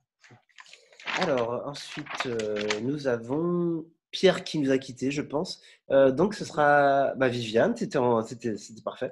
Et Jérôme, ensuite. Ok. Euh, donc, du coup, pour la suite, ben, moi, finalement, c'est vraiment le pratiquer. Après, du coup, j'aurais vraiment envie de. en fait, j'étais vraiment intéressé de la vidéo que tu as partagée, du coup, en prélude à cette rencontre-là. Et notamment, Juliette, quand elle expliquait son parcours, de avoir fait plusieurs fois la formation, du coup, pour pouvoir euh, approfondir et toute la méthode. Et, euh, et voilà, et moi j'aimerais vraiment pouvoir du coup euh, rentrer dans un processus, ou en tout cas, voilà, c'était mon souhait en, en m'inscrivant à la formation qui était prévue initialement euh, Hmm. de décembre, de pouvoir vraiment approfondir pour me sentir Mm. euh, un peu plus à l'aise et, euh, et vraiment euh, pouvoir accompagner et mener des projets avec, euh, avec cette méthode euh, Hmm. plus tranquille. Et après, c'est aussi de me dire, euh, ben, s'il y a un réseau français de facilitateurs, machin, voilà, moi de me dire, ben, c'est comment pour rentrer, qu'est-ce qu'il faut, et, euh, Hmm. et avec plaisir, parce qu'après, moi, je vois l'intérêt qu'il y a. Euh, après, il y a plein de choses à faire, moi, je vois euh, localement, et de me dire, bon, ben, ok, comment, voilà, comment on anime ce réseau-là euh, concrètement. Et du coup, intéressé pour, euh, pour faire vivre ce réseau. Voilà, j'ai dit. Merci, Jérôme. Euh, Eh bien, ouais, ben, moi, je, te recontacte pas pour, pour rejoindre le réseau, euh, je pourrais te recontacter en perso, mais en gros, il faut que tu sois dans la Framalist. Je sais pas si tu y es déjà. Euh, Enfin bon, je pourrais te recontacter pour pas que ça prenne trop de temps. Il y a une Framalist, ça un. Trello, il y a plusieurs moyens de rester en lien, en tout cas. Euh, merci. Ensuite, euh, nous avons Juliette. Euh, oui, euh, alors pour la suite, bah, déjà continuer à, à donner des formations. Euh, là, j'ai déjà en tout cas deux accompagnements euh, euh, de projets concrets euh, programmés pour 2020. Et puis après, on a des, ateliers, je ne sais plus combien on en a programmé euh, cette année, mais on a des ateliers avec l'Instant Z. Donc, euh, en tout cas, continuer ça, c'est sûr. Euh, j'ai- J'aimerais bien. bah, pour moi, c'est vraiment important de pouvoir transmettre cette méthode largement, qu'il y ait de plus en plus de gens qui, se sentent capables de la transmettre et voilà, qu'elle fasse son bout de chemin. Euh, et je serais intéressée euh, par rapport à, au développement de, de ça. euh, tu disais, Nico, que tu es en train de travailler sur euh, comment marketer Hmm. ce truc-là. C'est, ça fait partie des ateliers qui, qui sont compliqués à vendre, je trouve. Enfin, comme ça, ça parle pas de soi. Le, et Hmm. Comparé aux résultats de quand les gens ils ressortent de là, on voit que c'est des gens qui enfin, ils se transforment physiquement, ça se voit sur leur visage. quoi. Donc il y a une énorme puissance et, et moi je sais pas comment euh, comment transmettre ça euh, pour que ça donne envie.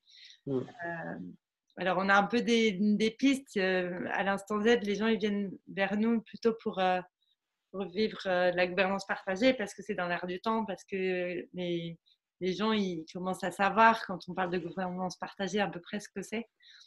Euh, donc le- vraiment le lier avec la gouvernance partagée, euh, pour moi c'est hyper complémentaire et, et donc ça peut être une porte d'entrée, Euh, mais aussi de, de pouvoir euh, juste le, le transmettre en soi. Euh, voilà, s'il s'il y a des idées, c'est cool. Hmm. Hmm. Carrément.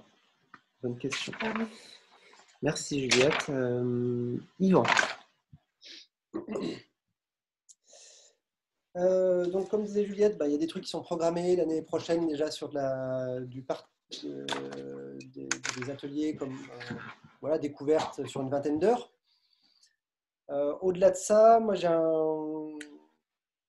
j'ai vraiment envie de, muter. En fait, on a fait avec l'instant Z, au début, je donnais des ateliers principalement sur le Dragon Dreaming. Et puis après, il y a eu cette histoire de gouvernance, alors assez inspirée de l'holacratie. Euh, J'ai vu que tout à l'heure, Adeline, euh, quoi, Nico, tu as, dit qu'il y a des gens qui le vivent mal. J'ai vu Adeline réagir dans ce sens-là aussi. Et moi, je ne comprenais pas pourquoi je le vivais super bien. Pourquoi, en fait, au sein de l'instant Z, on le pratique? Qu'est-ce qui fait que nous, on kiffe, Hmm. que d'autres en souffrent? Et Hmm. en fait, euh, avec le temps, je m'aperçois que qu'étant baigné de cette culture, de cette logique de, de, de perma, de, de développer mon intelligence émotionnelle, de, de présence, de, de- de plein de choses, en fait, elle- cette holacratie n'est pas juste pratiquée comme, un- Hmm. comme une mécanique euh, froide et méchante. Euh, Hmm. elle, est- elle est, elle est disciplinée, elle est domptée pour être au service de quelque chose. Hmm. Et, et pour l'instant, quand on faisait des ateliers, on- je faisais soit du Dragon Dreaming, soit de la gouvernance de type euh, très, très basé sur l'holacratie.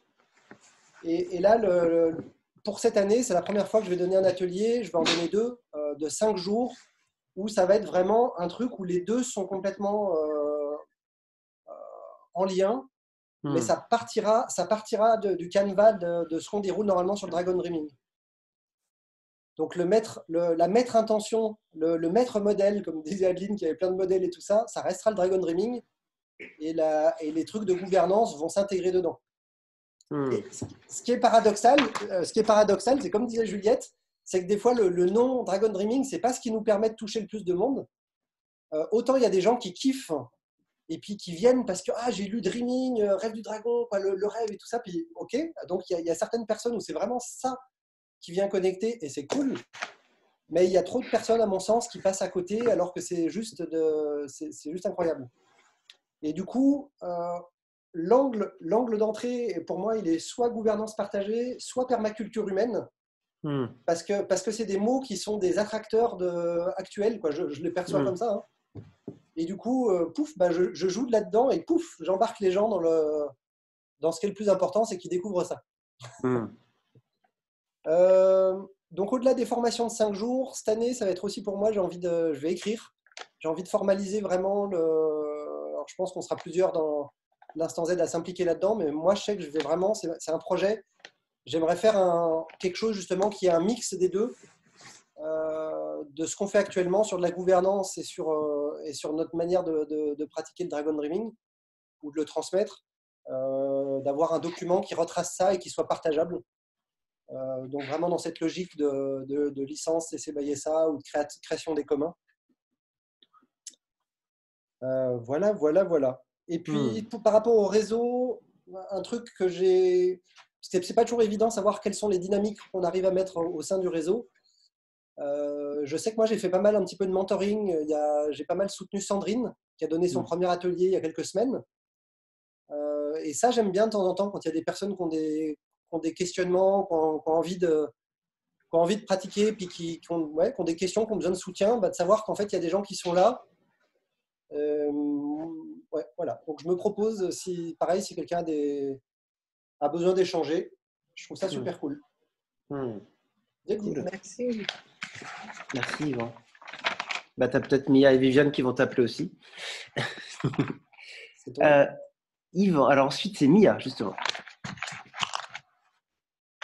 Ah ben voilà. c'est- Euh, ben, je ne sais pas très bien quoi dire parce que tout est ouvert et euh, je vais voir. euh, je vous ai dit déjà tout à l'heure hein, ce que j'allais Hmm. déjà faire dans les deux réunions qui viennent.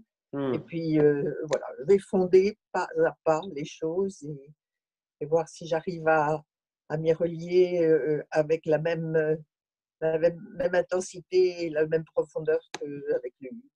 Hmm. Et puis, mais j'ai besoin, moi là, maintenant tout de suite, j'ai besoin de percevoir vraiment les, les outils les- et puis la structure, d'avoir la, la vision globale de la chose pour me repérer et pouvoir faire les pas dedans. Hmm. Donc, euh, je pense que ça, c'est une formation. une- voilà, c'est vraiment quelques jours de formation, j'imagine. Hmm. Voilà. Très bien. Merci beaucoup Mia. Euh, ensuite c'est Elsa. Euh, et ben, dans la De même quoi rêves-tu Elsa? Je rêve de, euh, de rêver et de faire rêver. Non, j'ai envie de. Enfin, je n'ai pas un truc précis, mais j'ai, un- je, je me réjouis de, de l'intervention qu'on a en janvier. Et Mhm. ensuite, j'ai envie de, de, de, de, le tester partout j'ai envie de le tester. Hmm. Et, euh, et peut-être sur moi-même aussi, parce que j'ai jamais essayé en fait. Oui, tu peux essayer sur toi. voilà. Et, euh, je, et du coup, euh, avec plaisir pour en discuter et puis, et, puis, et puis partager. Et je file en même temps parce que je- j'ai un, un, j'ai un autre. Enfin, il faut que je me casse quoi. Ouais. bah, la, la dernière question, c'est avec quoi tu repars? Tu veux le faire tout de suite? Ah pardon, avec quoi je repars? Euh, Avec quoi je repars? Je, euh, ça me, ça éveille ma curiosité, ça me donne envie de ne pas lâcher ce truc. Hmm. Euh, je suis pas hyper disponible mentalement aujourd'hui, ni ces derniers temps, et du coup, j'ai envie que ça se reproduise à un moment où je le serai plus et où j'aurai plus d'espace mental aussi. Hmm. Voilà, mais euh, c'était un plaisir de Hmm. voir d'autres énergies autour de ça et euh, et, euh, et puis le monde euh, est en train de changer quoi. Clairement. Merci d'être venue Elsa. Bonne soirée. À bientôt. On raccroche. Ah. C'est vrai qu'on a un petit peu dépassé, euh, on avait dit jusqu'à 20h. il est 20h12, on se rapproche de la fin. euh, Oui, on n'est pas loin. on n'est pas loin. On est à Nat. Alors, euh, moi, donc, j'ai euh, beaucoup, beaucoup réfléchi, en fait. Il y a ce que j'aimerais envie de faire, ce que je viens de faire, donc c'est effectivement pour, euh, pour les femmes. Et aussi, euh, ce que j'aimerais, en fait, mon plan d'action, c'est de faire passer le Dragon Dreaming, en fait, sous un autre nom, parce que c'est pas grave. Le plus Hmm. important, c'est pas le nom, le plus important, c'est que ça se propage. Hmm. Mais en fait, j'aimerais le faire passer sous des trucs certifiants, en fait. Donc, euh, Hmm. nouveau cadre de formation euh, en France. Donc, en fait, c'est entuber un petit peu le système pour faire passer un autre système. Hmm. Euh, ça veut dire qu'il y a un gros, un gros taf hein. Et par contre, ce serait pas juste donner des formations pour donner des formations, parce que c'est très sympa. Mais euh, des ateliers, moi, je trouve ça chouette. Les gens repartent avec des trucs et tout, mais pour moi, je trouve ça assez frustrant. Et euh, donc, j'aimerais bien le faire. Donc là, je suis en train de, créer des partenariats avec des acteurs de, région, en fait, de ma région, pour euh, profiter de faire une formation Rêve du Dragon pour réaliser un projet euh, au niveau du territoire. Donc, servir en fait d'un projet du territoire pour expérimenter la gestion de projet, Rêve du Dragon. Et donc, ça, c'est quelque chose que je suis en train de discuter avec certaines organisations, associations, fédérations environnementales pour qu'il y ait un truc de concrétitude qui se passe parce que voilà, pour moi, je, au bout de 8 ans, sympa, et des petits projets ici et là, mais voilà, j'ai besoin de passer un peu à la vitesse supérieure, que ce soit en fait, euh, alors sur deux axes différents, que ce soit euh, ces projets-là soient réalisés dans le cadre de formation d'entreprise, Donc là, c'est Top Moumout. On travaille sur trois actes. Donc si ça intéresse quelqu'un, euh, avec plaisir pour travailler là-dessus. Hmm. Euh, donc que ce soit donc voilà pour, pour que l'entreprise elle-même travaille sur son projet ou que l'entreprise travaille sur un projet du territoire en lien avec une association. Et là on fait bim boum badaboum parce que ce qui serait top c'est qu'en plus c'est le gouvernement qui a payé pour ça. Donc je trouve ça top. Hmm. donc ça c'est ce que je vois pour l'avenir et euh, ce que j'ai envie de mettre en place là pour, euh, pour la rentrée. Donc là j'ai déjà des, des réunions de travail avec des assos du coin j'ai d'autres rendez-vous en 2020 et en même temps, bah, je suis en train de travailler sur la certification France Compétences, les CPF et tout le bordel. Donc euh, voilà, bienvenue euh, là-dessus. Donc euh, je pense que Rêve du Dragon a tout à fait sa place dans un catalogue, sauf que il ne sera pas mentionné Rêve du Dragon. Voilà, c'est Hmm. pas grave pour ça pour moi. Voilà. Hmm. Super, merci beaucoup. Euh, Estelle, de quoi rêves-tu? Juliette Euh, juste, moi, je vais devoir vous laisser, les amis, Ok, avec quoi repars-tu, Juliette? Euh, avec euh, des beaux partages et échanges. Et je vous remercie beaucoup. Et du Mm. coup, euh, voilà, j'espère vous voir une fois en présentiel Hmm. euh, pour qu'on puisse vivre des choses ensemble et se voir physiquement. Carrément, plus un. Merci d'être venue. tu partes, Juliette, je voulais juste rajouter que justement, je trouverais pertinent pour l'avenir du rêve du dragon qu'il y ait effectivement une partie, ou en tout cas que ça se termine forcément, quasiment tout le temps, par une gouvernance partagée. Euh, pour que la- le fait que ce soit dans le concret puisse faire que, ok, comment maintenant on s'organise quoi. Pour moi, ça fait sens que les deux soient ensemble, en fait. Voilà, j'ai dit. Qu'on pratique la gouvernance partagée à chaque fois qu'on se voit, c'est ça? Non, non, pas forcément ça. C'est qu'en fait, euh, les outils de la Que ce soit amenés suite à un rêve du dragon pour qu'il y ait vraiment la totale, en fait. Voilà, que Hmm. ce soit vraiment super complet. Voilà. Ou Gouvernance partagée ou autre, comme, voilà. mais en tout cas, quelque chose d'organisationnel. Voilà. Hmm. Ok, merci. Ciao tout le monde Ciao, ciao. Après, eh ben, c'est Estelle, toujours. Ouais. Euh, bah, moi, du coup, euh, bah, je pense qu'on a déjà fait le tour de ce que je rêve ce que j'aimerais euh, mettre en place. Moi, je pense que mon rêve, c'est déjà de m'approprier cette méthode et de pouvoir pratique d'une certaine façon. C'est plus, c'est plus une idée en fait que j'ai pour que la, la méthode en fait puisse toucher ou arriver à l'oreille de, de personnes qui ne. Enfin, voilà, moi, moi, je me considère de- en avoir entendu parler de enfin, par chance. Et, et, et quand on regarde en ligne, c'est assez difficile de trouver des, des, des informations sur cette méthode. Je ne sais pas si vous êtes euh, d'accord là-dessus. C'est un peu éparpillé. Moi, quand j'ai essayé euh, de me, enfin, de, de plus, euh, ouais, de plus trouver des, des, infos après cette formation que j'avais fait cet, euh, cet été, euh, bah, j'ai trouvé ça compliqué. Enfin, c'est un peu éparpillé. Et en fait, j'avais, soumis l'idée à John déjà, mais je ne sais pas si euh, ça pourrait résonner avec certains de vous. C'est bah, de, de faire une vidéo en fait, qui résumerait la méthode. Et euh, là, on a parlé de TEDx, par exemple, et je trouve que c'est un super moyen de en fait, partager. Beaucoup de gens, en fait, moi, je suis tombée sur des choses euh, qui, euh, juste parce que je connaissais TEDx. Et, euh, et du coup, je trouve que ça pourrait être un, moyen. Oui, bon, bien sûr, il y a peut-être une dimension un peu. euh, je sais pas, moi je trouve que ce serait un super moyen en fait de, de faire partager cette méthode voilà, d'une façon en plus synthétique et pertinente et, et facile d'accès. Donc j'avais euh, évoqué la, la, la chose à John, il m'avait dit qu'il y avait déjà pensé. Et puis je lui ai dit qu'il fallait vraiment qu'il le fasse. Et il m'a dit d'accord, euh, je prends bien note de ce que tu me dis. Après, je ne sais pas maintenant où est-ce que ça en est dans son esprit, mais après, ben, bien sûr, je ne pourrais pas être euh, au cœur de cette vidéo, mais si d'autres personnes qui l'ont pratiqué se sentiraient peut-être, je ne sais pas. C'est une Hmm. idée comme ça en fait. Hmm, intéressant. y avait, il y avait eu aussi euh, cette. Euh, tu avais partagé euh, les infos sur un documentaire qui allait bientôt sortir aussi. Mais Un film. ouais, un film. Qui est Ouais, sorti, un ouais. film qui est, qui est Il est sorti, sorti qui est sous-titré sous-titré en français. Voilà, ok. C'est sympa. Et Mm. c'est en espagnol, je crois, c'est ça, non?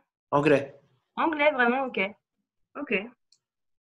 Très bien. Non, bah, j'ai pas. Est-ce qu'on peut avoir le lien aussi euh, de ça? Que- Euh, je semble sais pas où il est. Assez indépendant, c'était pas trop. euh, Ouais, c'est pas très clair parce qu'ils l'ont sorti. Comment dire Nous, on a vu il y avait eu un lien de prévisualisation.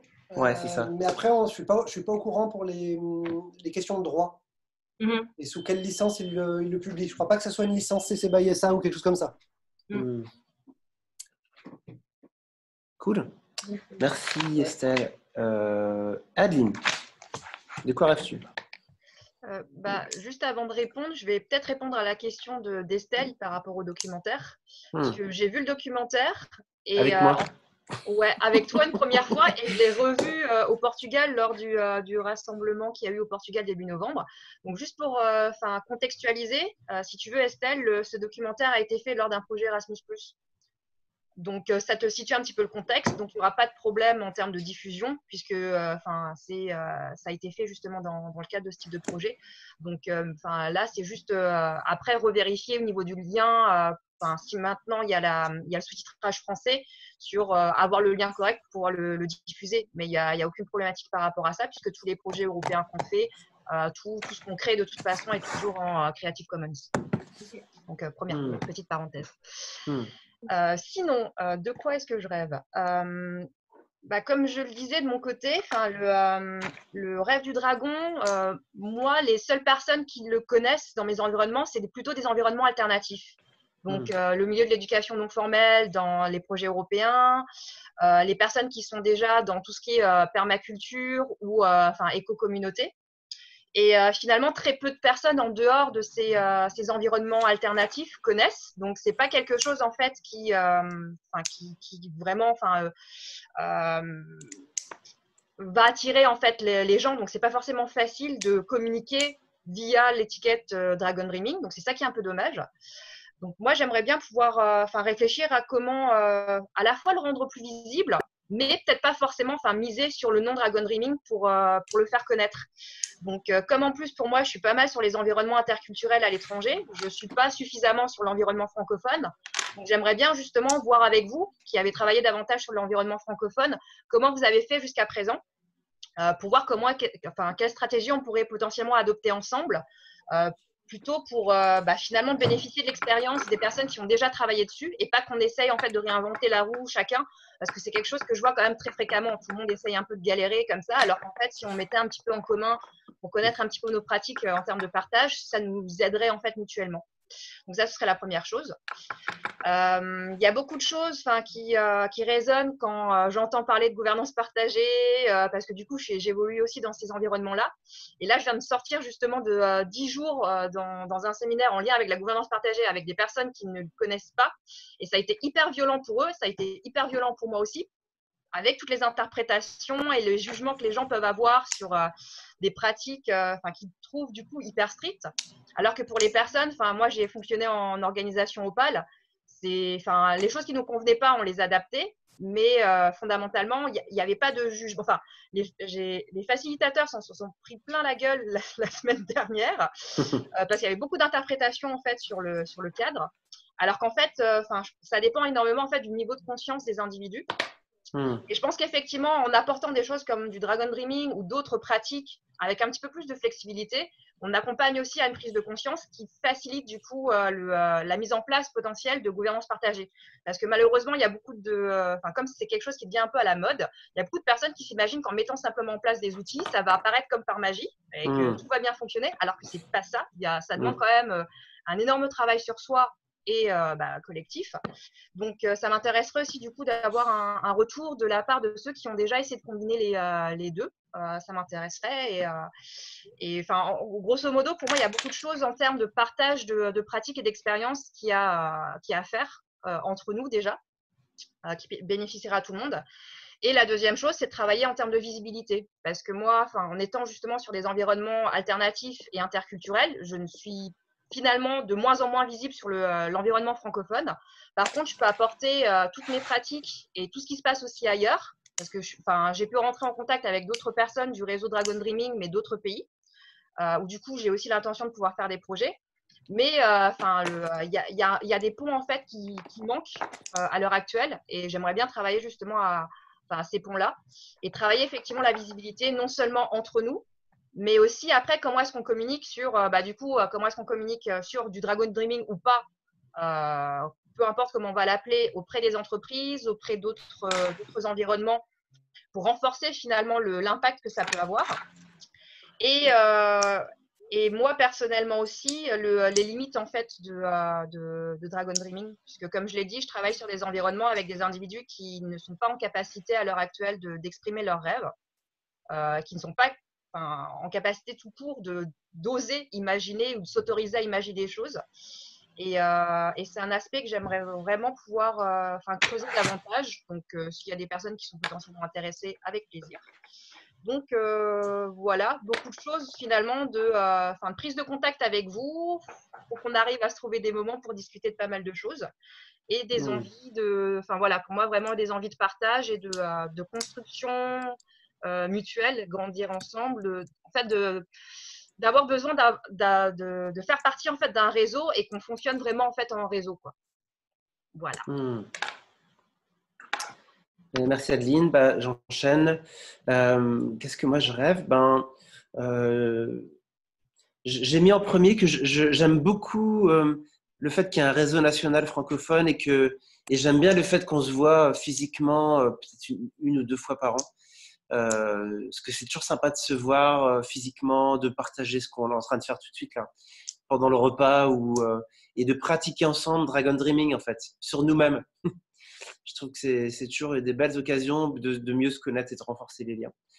Donc ça, bah, on, le fait quand même régulièrement. On l'a pas fait cette année par contre, mais voilà. et je sais que Sandrine qui n'est pas là, que elle aime beaucoup aussi ces rencontres physiques.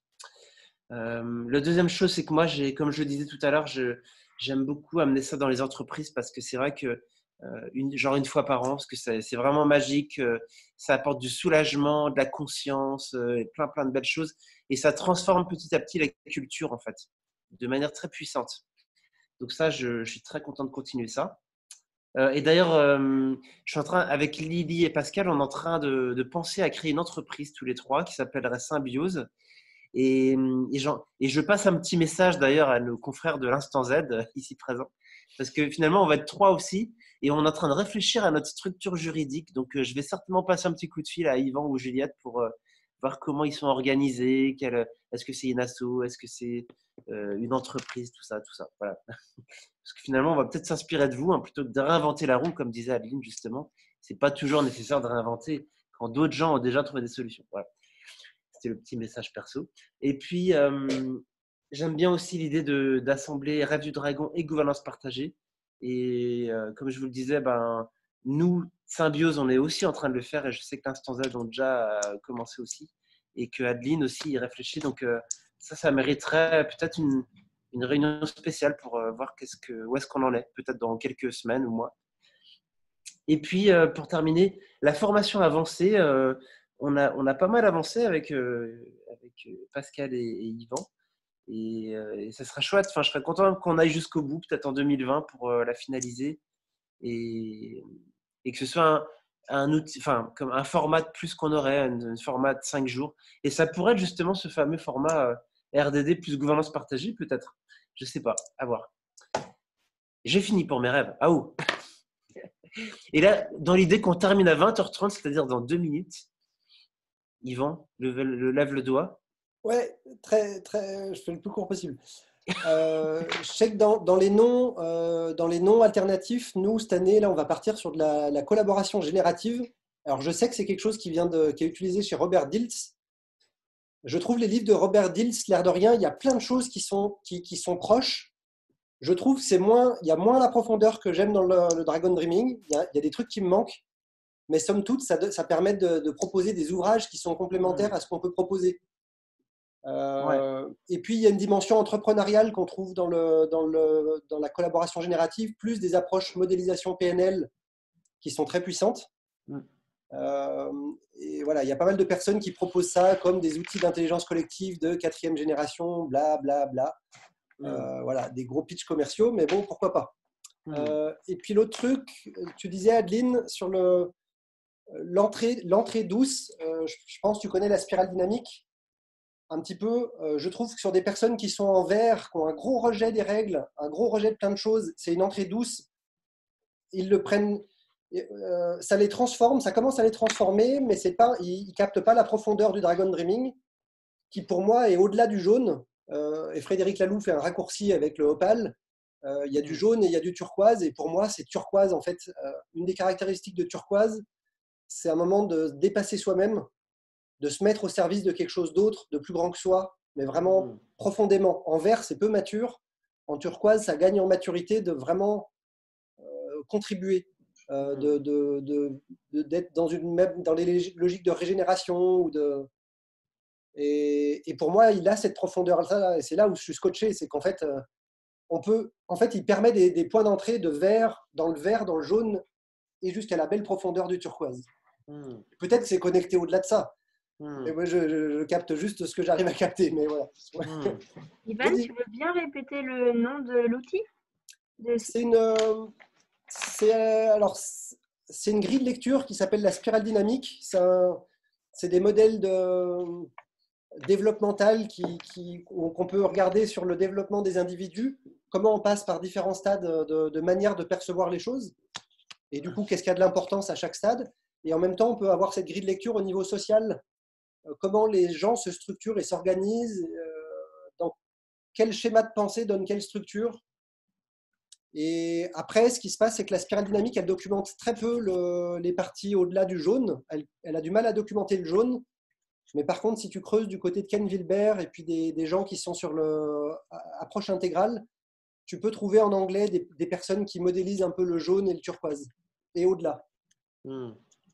Euh, pour ceux qui sont les plus perchés, aller lire du Sri Aurobindo ou deux, trois trucs comme ça, c'est sympa. Dit. Merci Yvan. Bah, Yvan, je te laisse le petit rituel de clôture. Merci Nico. Bah, du coup, voilà, euh, on arrive au bout. Euh, avec quoi vous partez? C'est quoi, c'est quoi votre mot de la fin? Hmm. pour euh, clôturer, célébrer jusqu'à jusqu'à ce qu'il se passe quelque chose On se recroise ou hmm. pas Et du coup, et du coup, bah, je vais, je vais, je vais, je vais changer la liste. Parole au centre. Qui c'est qui commence? Bah, je veux bien commencer. Euh, et ben moi, j'ai beaucoup aimé cette réunion. Je suis vraiment content qu'on l'ait fait et euh, euh, que le, ça va être une formation de cinq jours qui s'est transformée en un petit rassemblement sur Zoom. Mais c'était quand même très, très, de très bonne qualité. Je suis ravi que Adeline et Estelle étaient là, nos nouvelles recrues. Mais, et puis, non, Mia, Elsa, enfin, il y a eu Jérôme, Viviane, enfin, c'était de revoir Nat aussi. Euh, voilà, c'était vraiment chouette d'avoir euh, toute cette diversité à la fois temporelle et puis des nouvelles personnes et des anciennes, etc. Enfin, c'était hyper riche et, et, je vois que vraiment il y a une qualité humaine euh, dans, dans les personnes Dragon Dreaming que j'apprécie beaucoup en fait. Ils vont parler de la conscience opale, mais je pense que ça attire beaucoup de gens qui ont cette conscience opale justement. Dragon Dreaming, c'est pour ça aussi que, que j'aime beaucoup. Donc voilà, bah, ravi de continuer l'aventure avec vous en tout cas. Et puis merci à Yvan d'avoir fait l'ouverture, parce que j'étais effectivement en retard et donc c'était parfait. Ah oh Merci.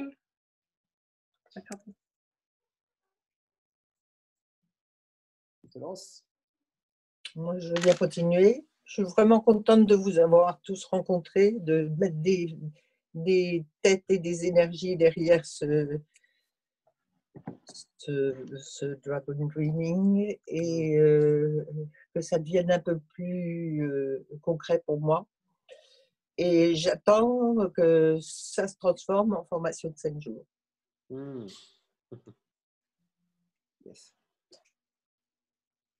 Merci Mia. Je remercie tout le monde. Merci Estelle. Eh ben, du coup, euh, ben, moi, merci à tous effectivement pour les échanges qu'on a eus. Moi, j'ai, euh, J'adore euh, du coup de pouvoir repartir à chaque fois avec euh, plein d'idées, plein de concepts euh, pour compléter moi ma vision des choses. voilà, et hâte de, de poursuivre l'aventure du coup avec tous. Et du coup, Adeline, par rapport aux personnes qui peuvent, qui sont des fois bloquées pour le, par le rêve, moi juste un truc que j'ai pu tester, c'est du coup partir sur du jeu du Tao. Et notamment, euh, du coup, il y a l'histoire de la recherche de quête. Et ben, du coup, euh, pour des personnes qui justement savent pas où, euh, par où tirer la, pelote, en fait, ben, justement, de partir sur la quête. Ben, la quête, c'est de trouver c'est quoi ce que tu cherches. Quoi. Et qu'en fait, le jeu, en tout cas, moi, sur les personnes que j'ai essayé, le jeu, en fait, amène les personnes directement à trouver, le, à trouver ce qu'ils cherchent, en fait. Et du coup, mettre des mots. voilà pour euh, mon petit retour. Merci à vous. Merci.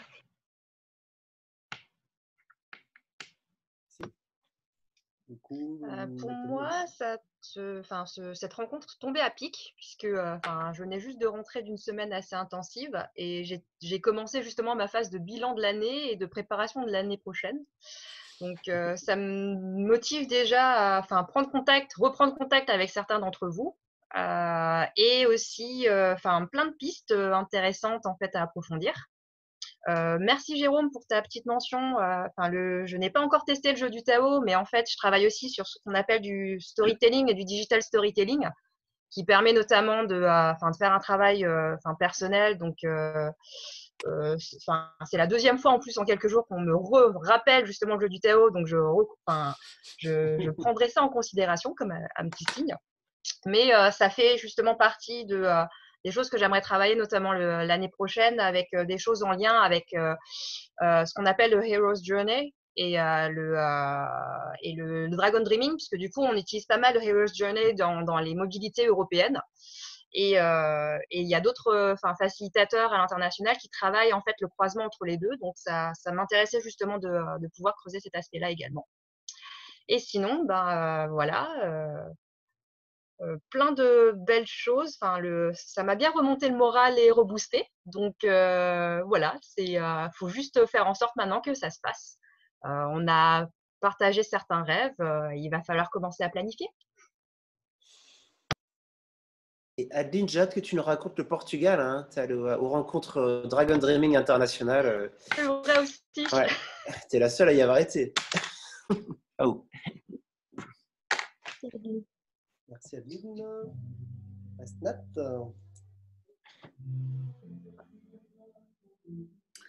Oui, alors bah, moi, ça m'a fait plaisir de revoir euh, bah, les anciens, de rencontrer les nouveaux, et puis bah, de voir que la dynamique est toujours là. C'est vrai que j'ai décroché un petit peu ces derniers temps, enfin ces dernières années même. Hein. Euh, donc euh, voilà, ça fait vraiment, vraiment chaud au cœur de voir qu'on va carrément tous dans la même direction.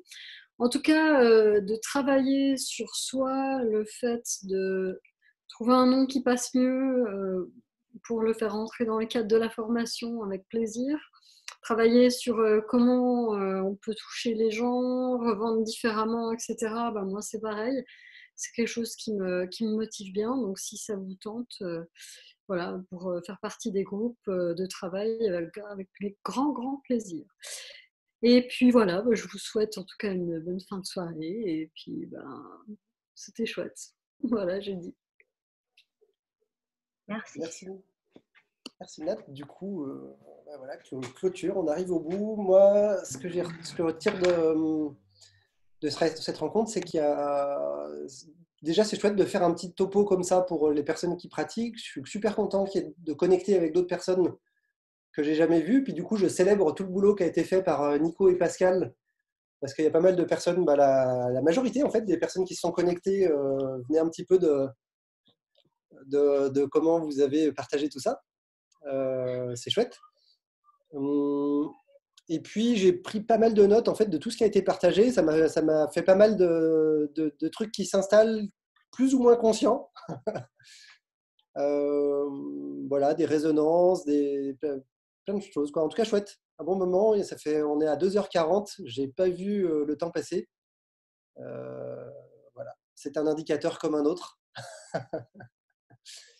voilà. Très content du partage.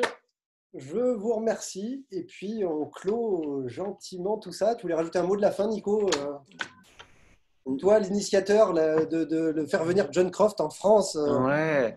hein? C'est malin, ça. Fallait oui. pas. Bah, en fait, moi, je pensais que ce serait passager parce que je découvre toujours des méthodes meilleures que la précédente. Et puis là, Dragon Dreaming, il n'a pas été dépassé jusqu'ici.